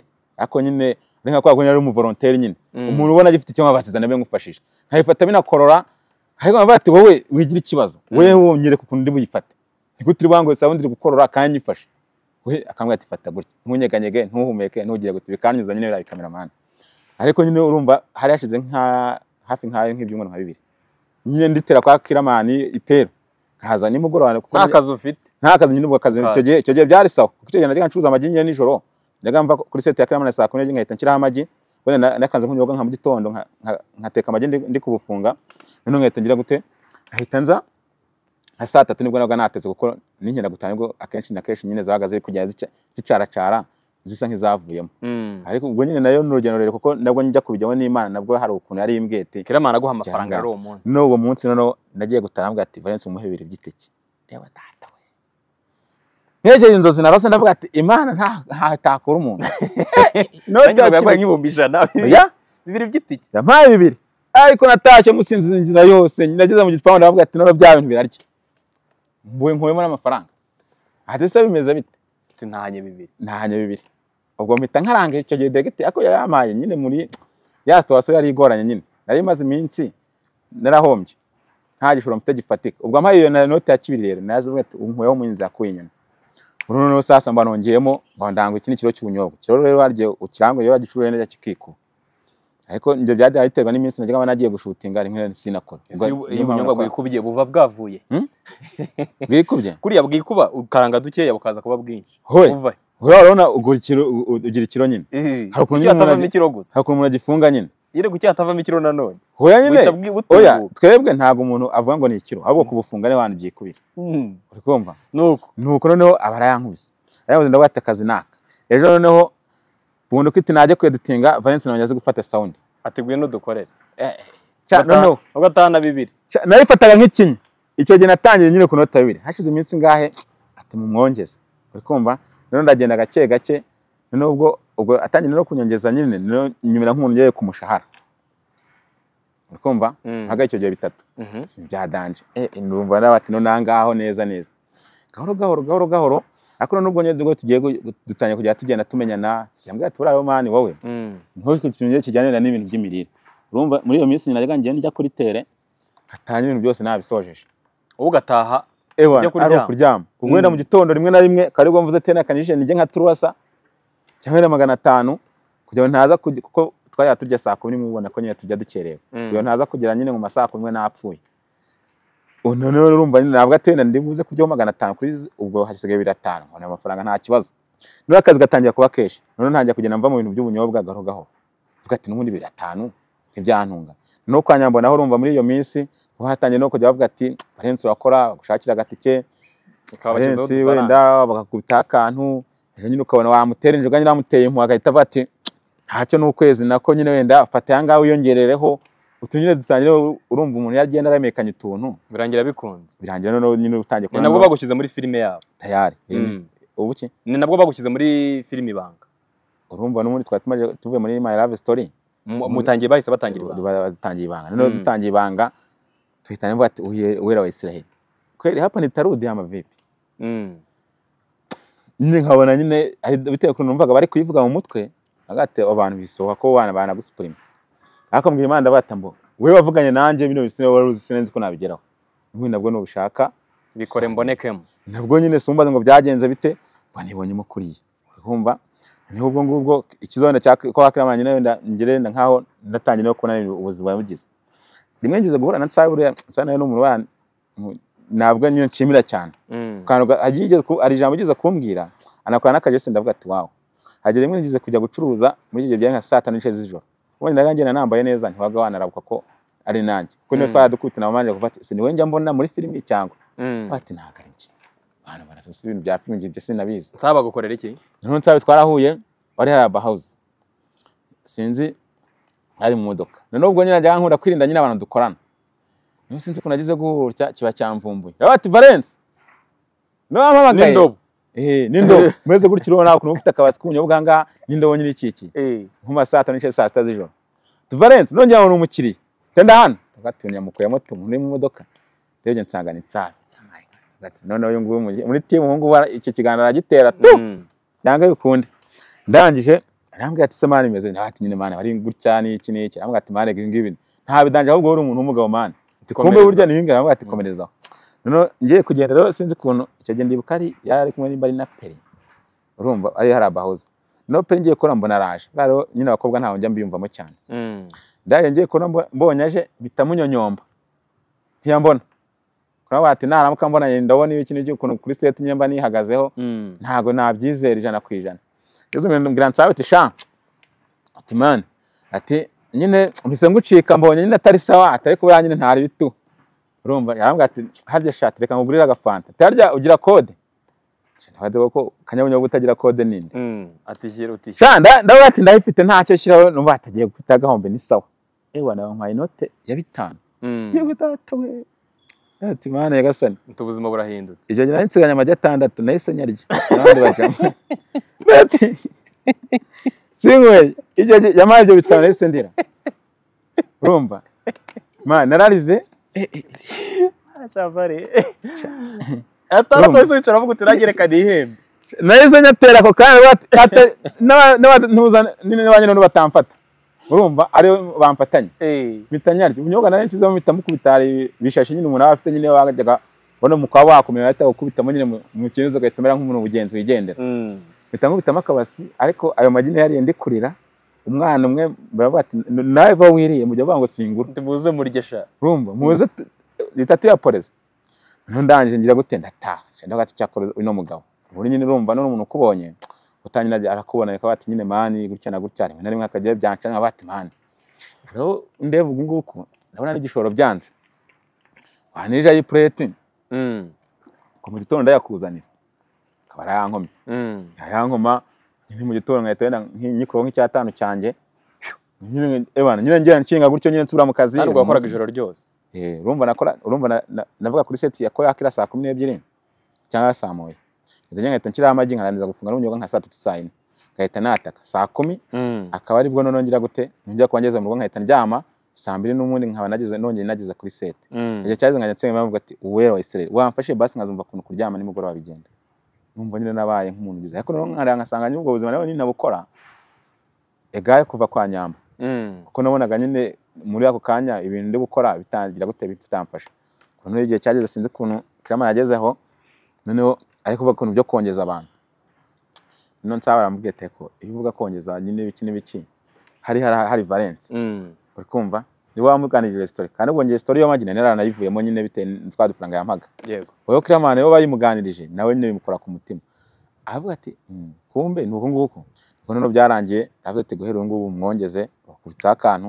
Ubwo bakubitsaho akantu ndavuga ati nanjye ntangiye gukora cano yanjye Mm. ni bwo wakoze ya yindi ya Ewa, yawe. nyine ubwo niba yahise mvuga ati byange bikunda channel wayise ngo iki?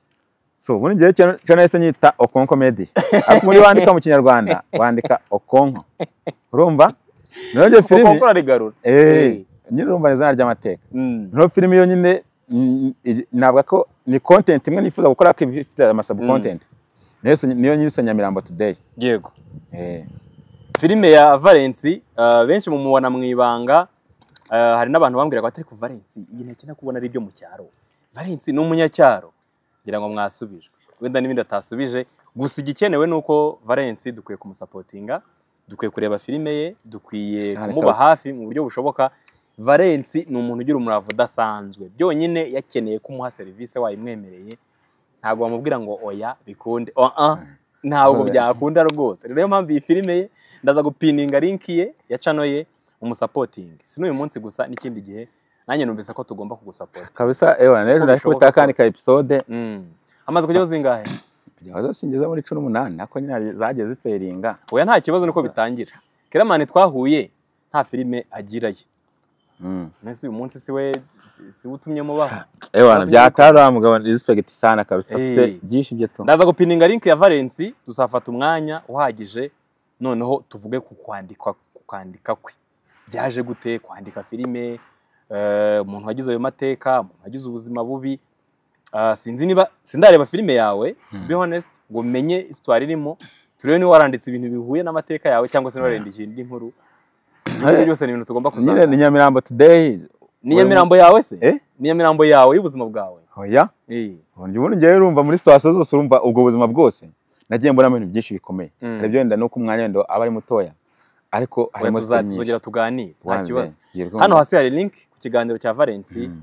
Nababwira iki? Mumusapotinge mu buryo bushoboka bwose. Kandi no mu ibanga muramukunda ndabizi akantu ka nyuma ngomba kukubaza. Ni ubuzima bwakwigishije? Ubuzima ikintu cya mbere bwanyigishije? Bwanyigishije kubaho wowe ubwawe. Mm. kwibaza ese who am I? Ko nabivuga. Mm. Ne- ikindi ubu buzima hari ukuntu icyo na- navuga wenda cyangwa se na kano kanya ni ikintu kimfasha. Bwanyishe kuba udakwiye gucika intege. Kuko egare nk'uko nabanjye yajyaga bimbwira iyo ucitse intege ubwo niyo deregite ubwo warangiye. Ubwo rero nyine wese kwihangana. No Sibyo? kudacika intege. Nowe kumenya ubundi wowe urinde urashaka iki? Urashaka kugera hehe? Tayari. Ibyo Mm. ngibyo ubundi. Nicyo kintu rero navuga kano kanya mbona tu. Yego. Mm. vare ndagushimiye. Bonne chance nyagasana akugirire neza. Kandi ibyiza biri imbere sibyo? Mm. ibyiza biri imbere. Byonyine umuhate ugira urahagije wakoze cyane ubundi ya Mm. Mm. ubundi baravuga ngo don't live for nothing ni uko nguko mbaho yego Mm.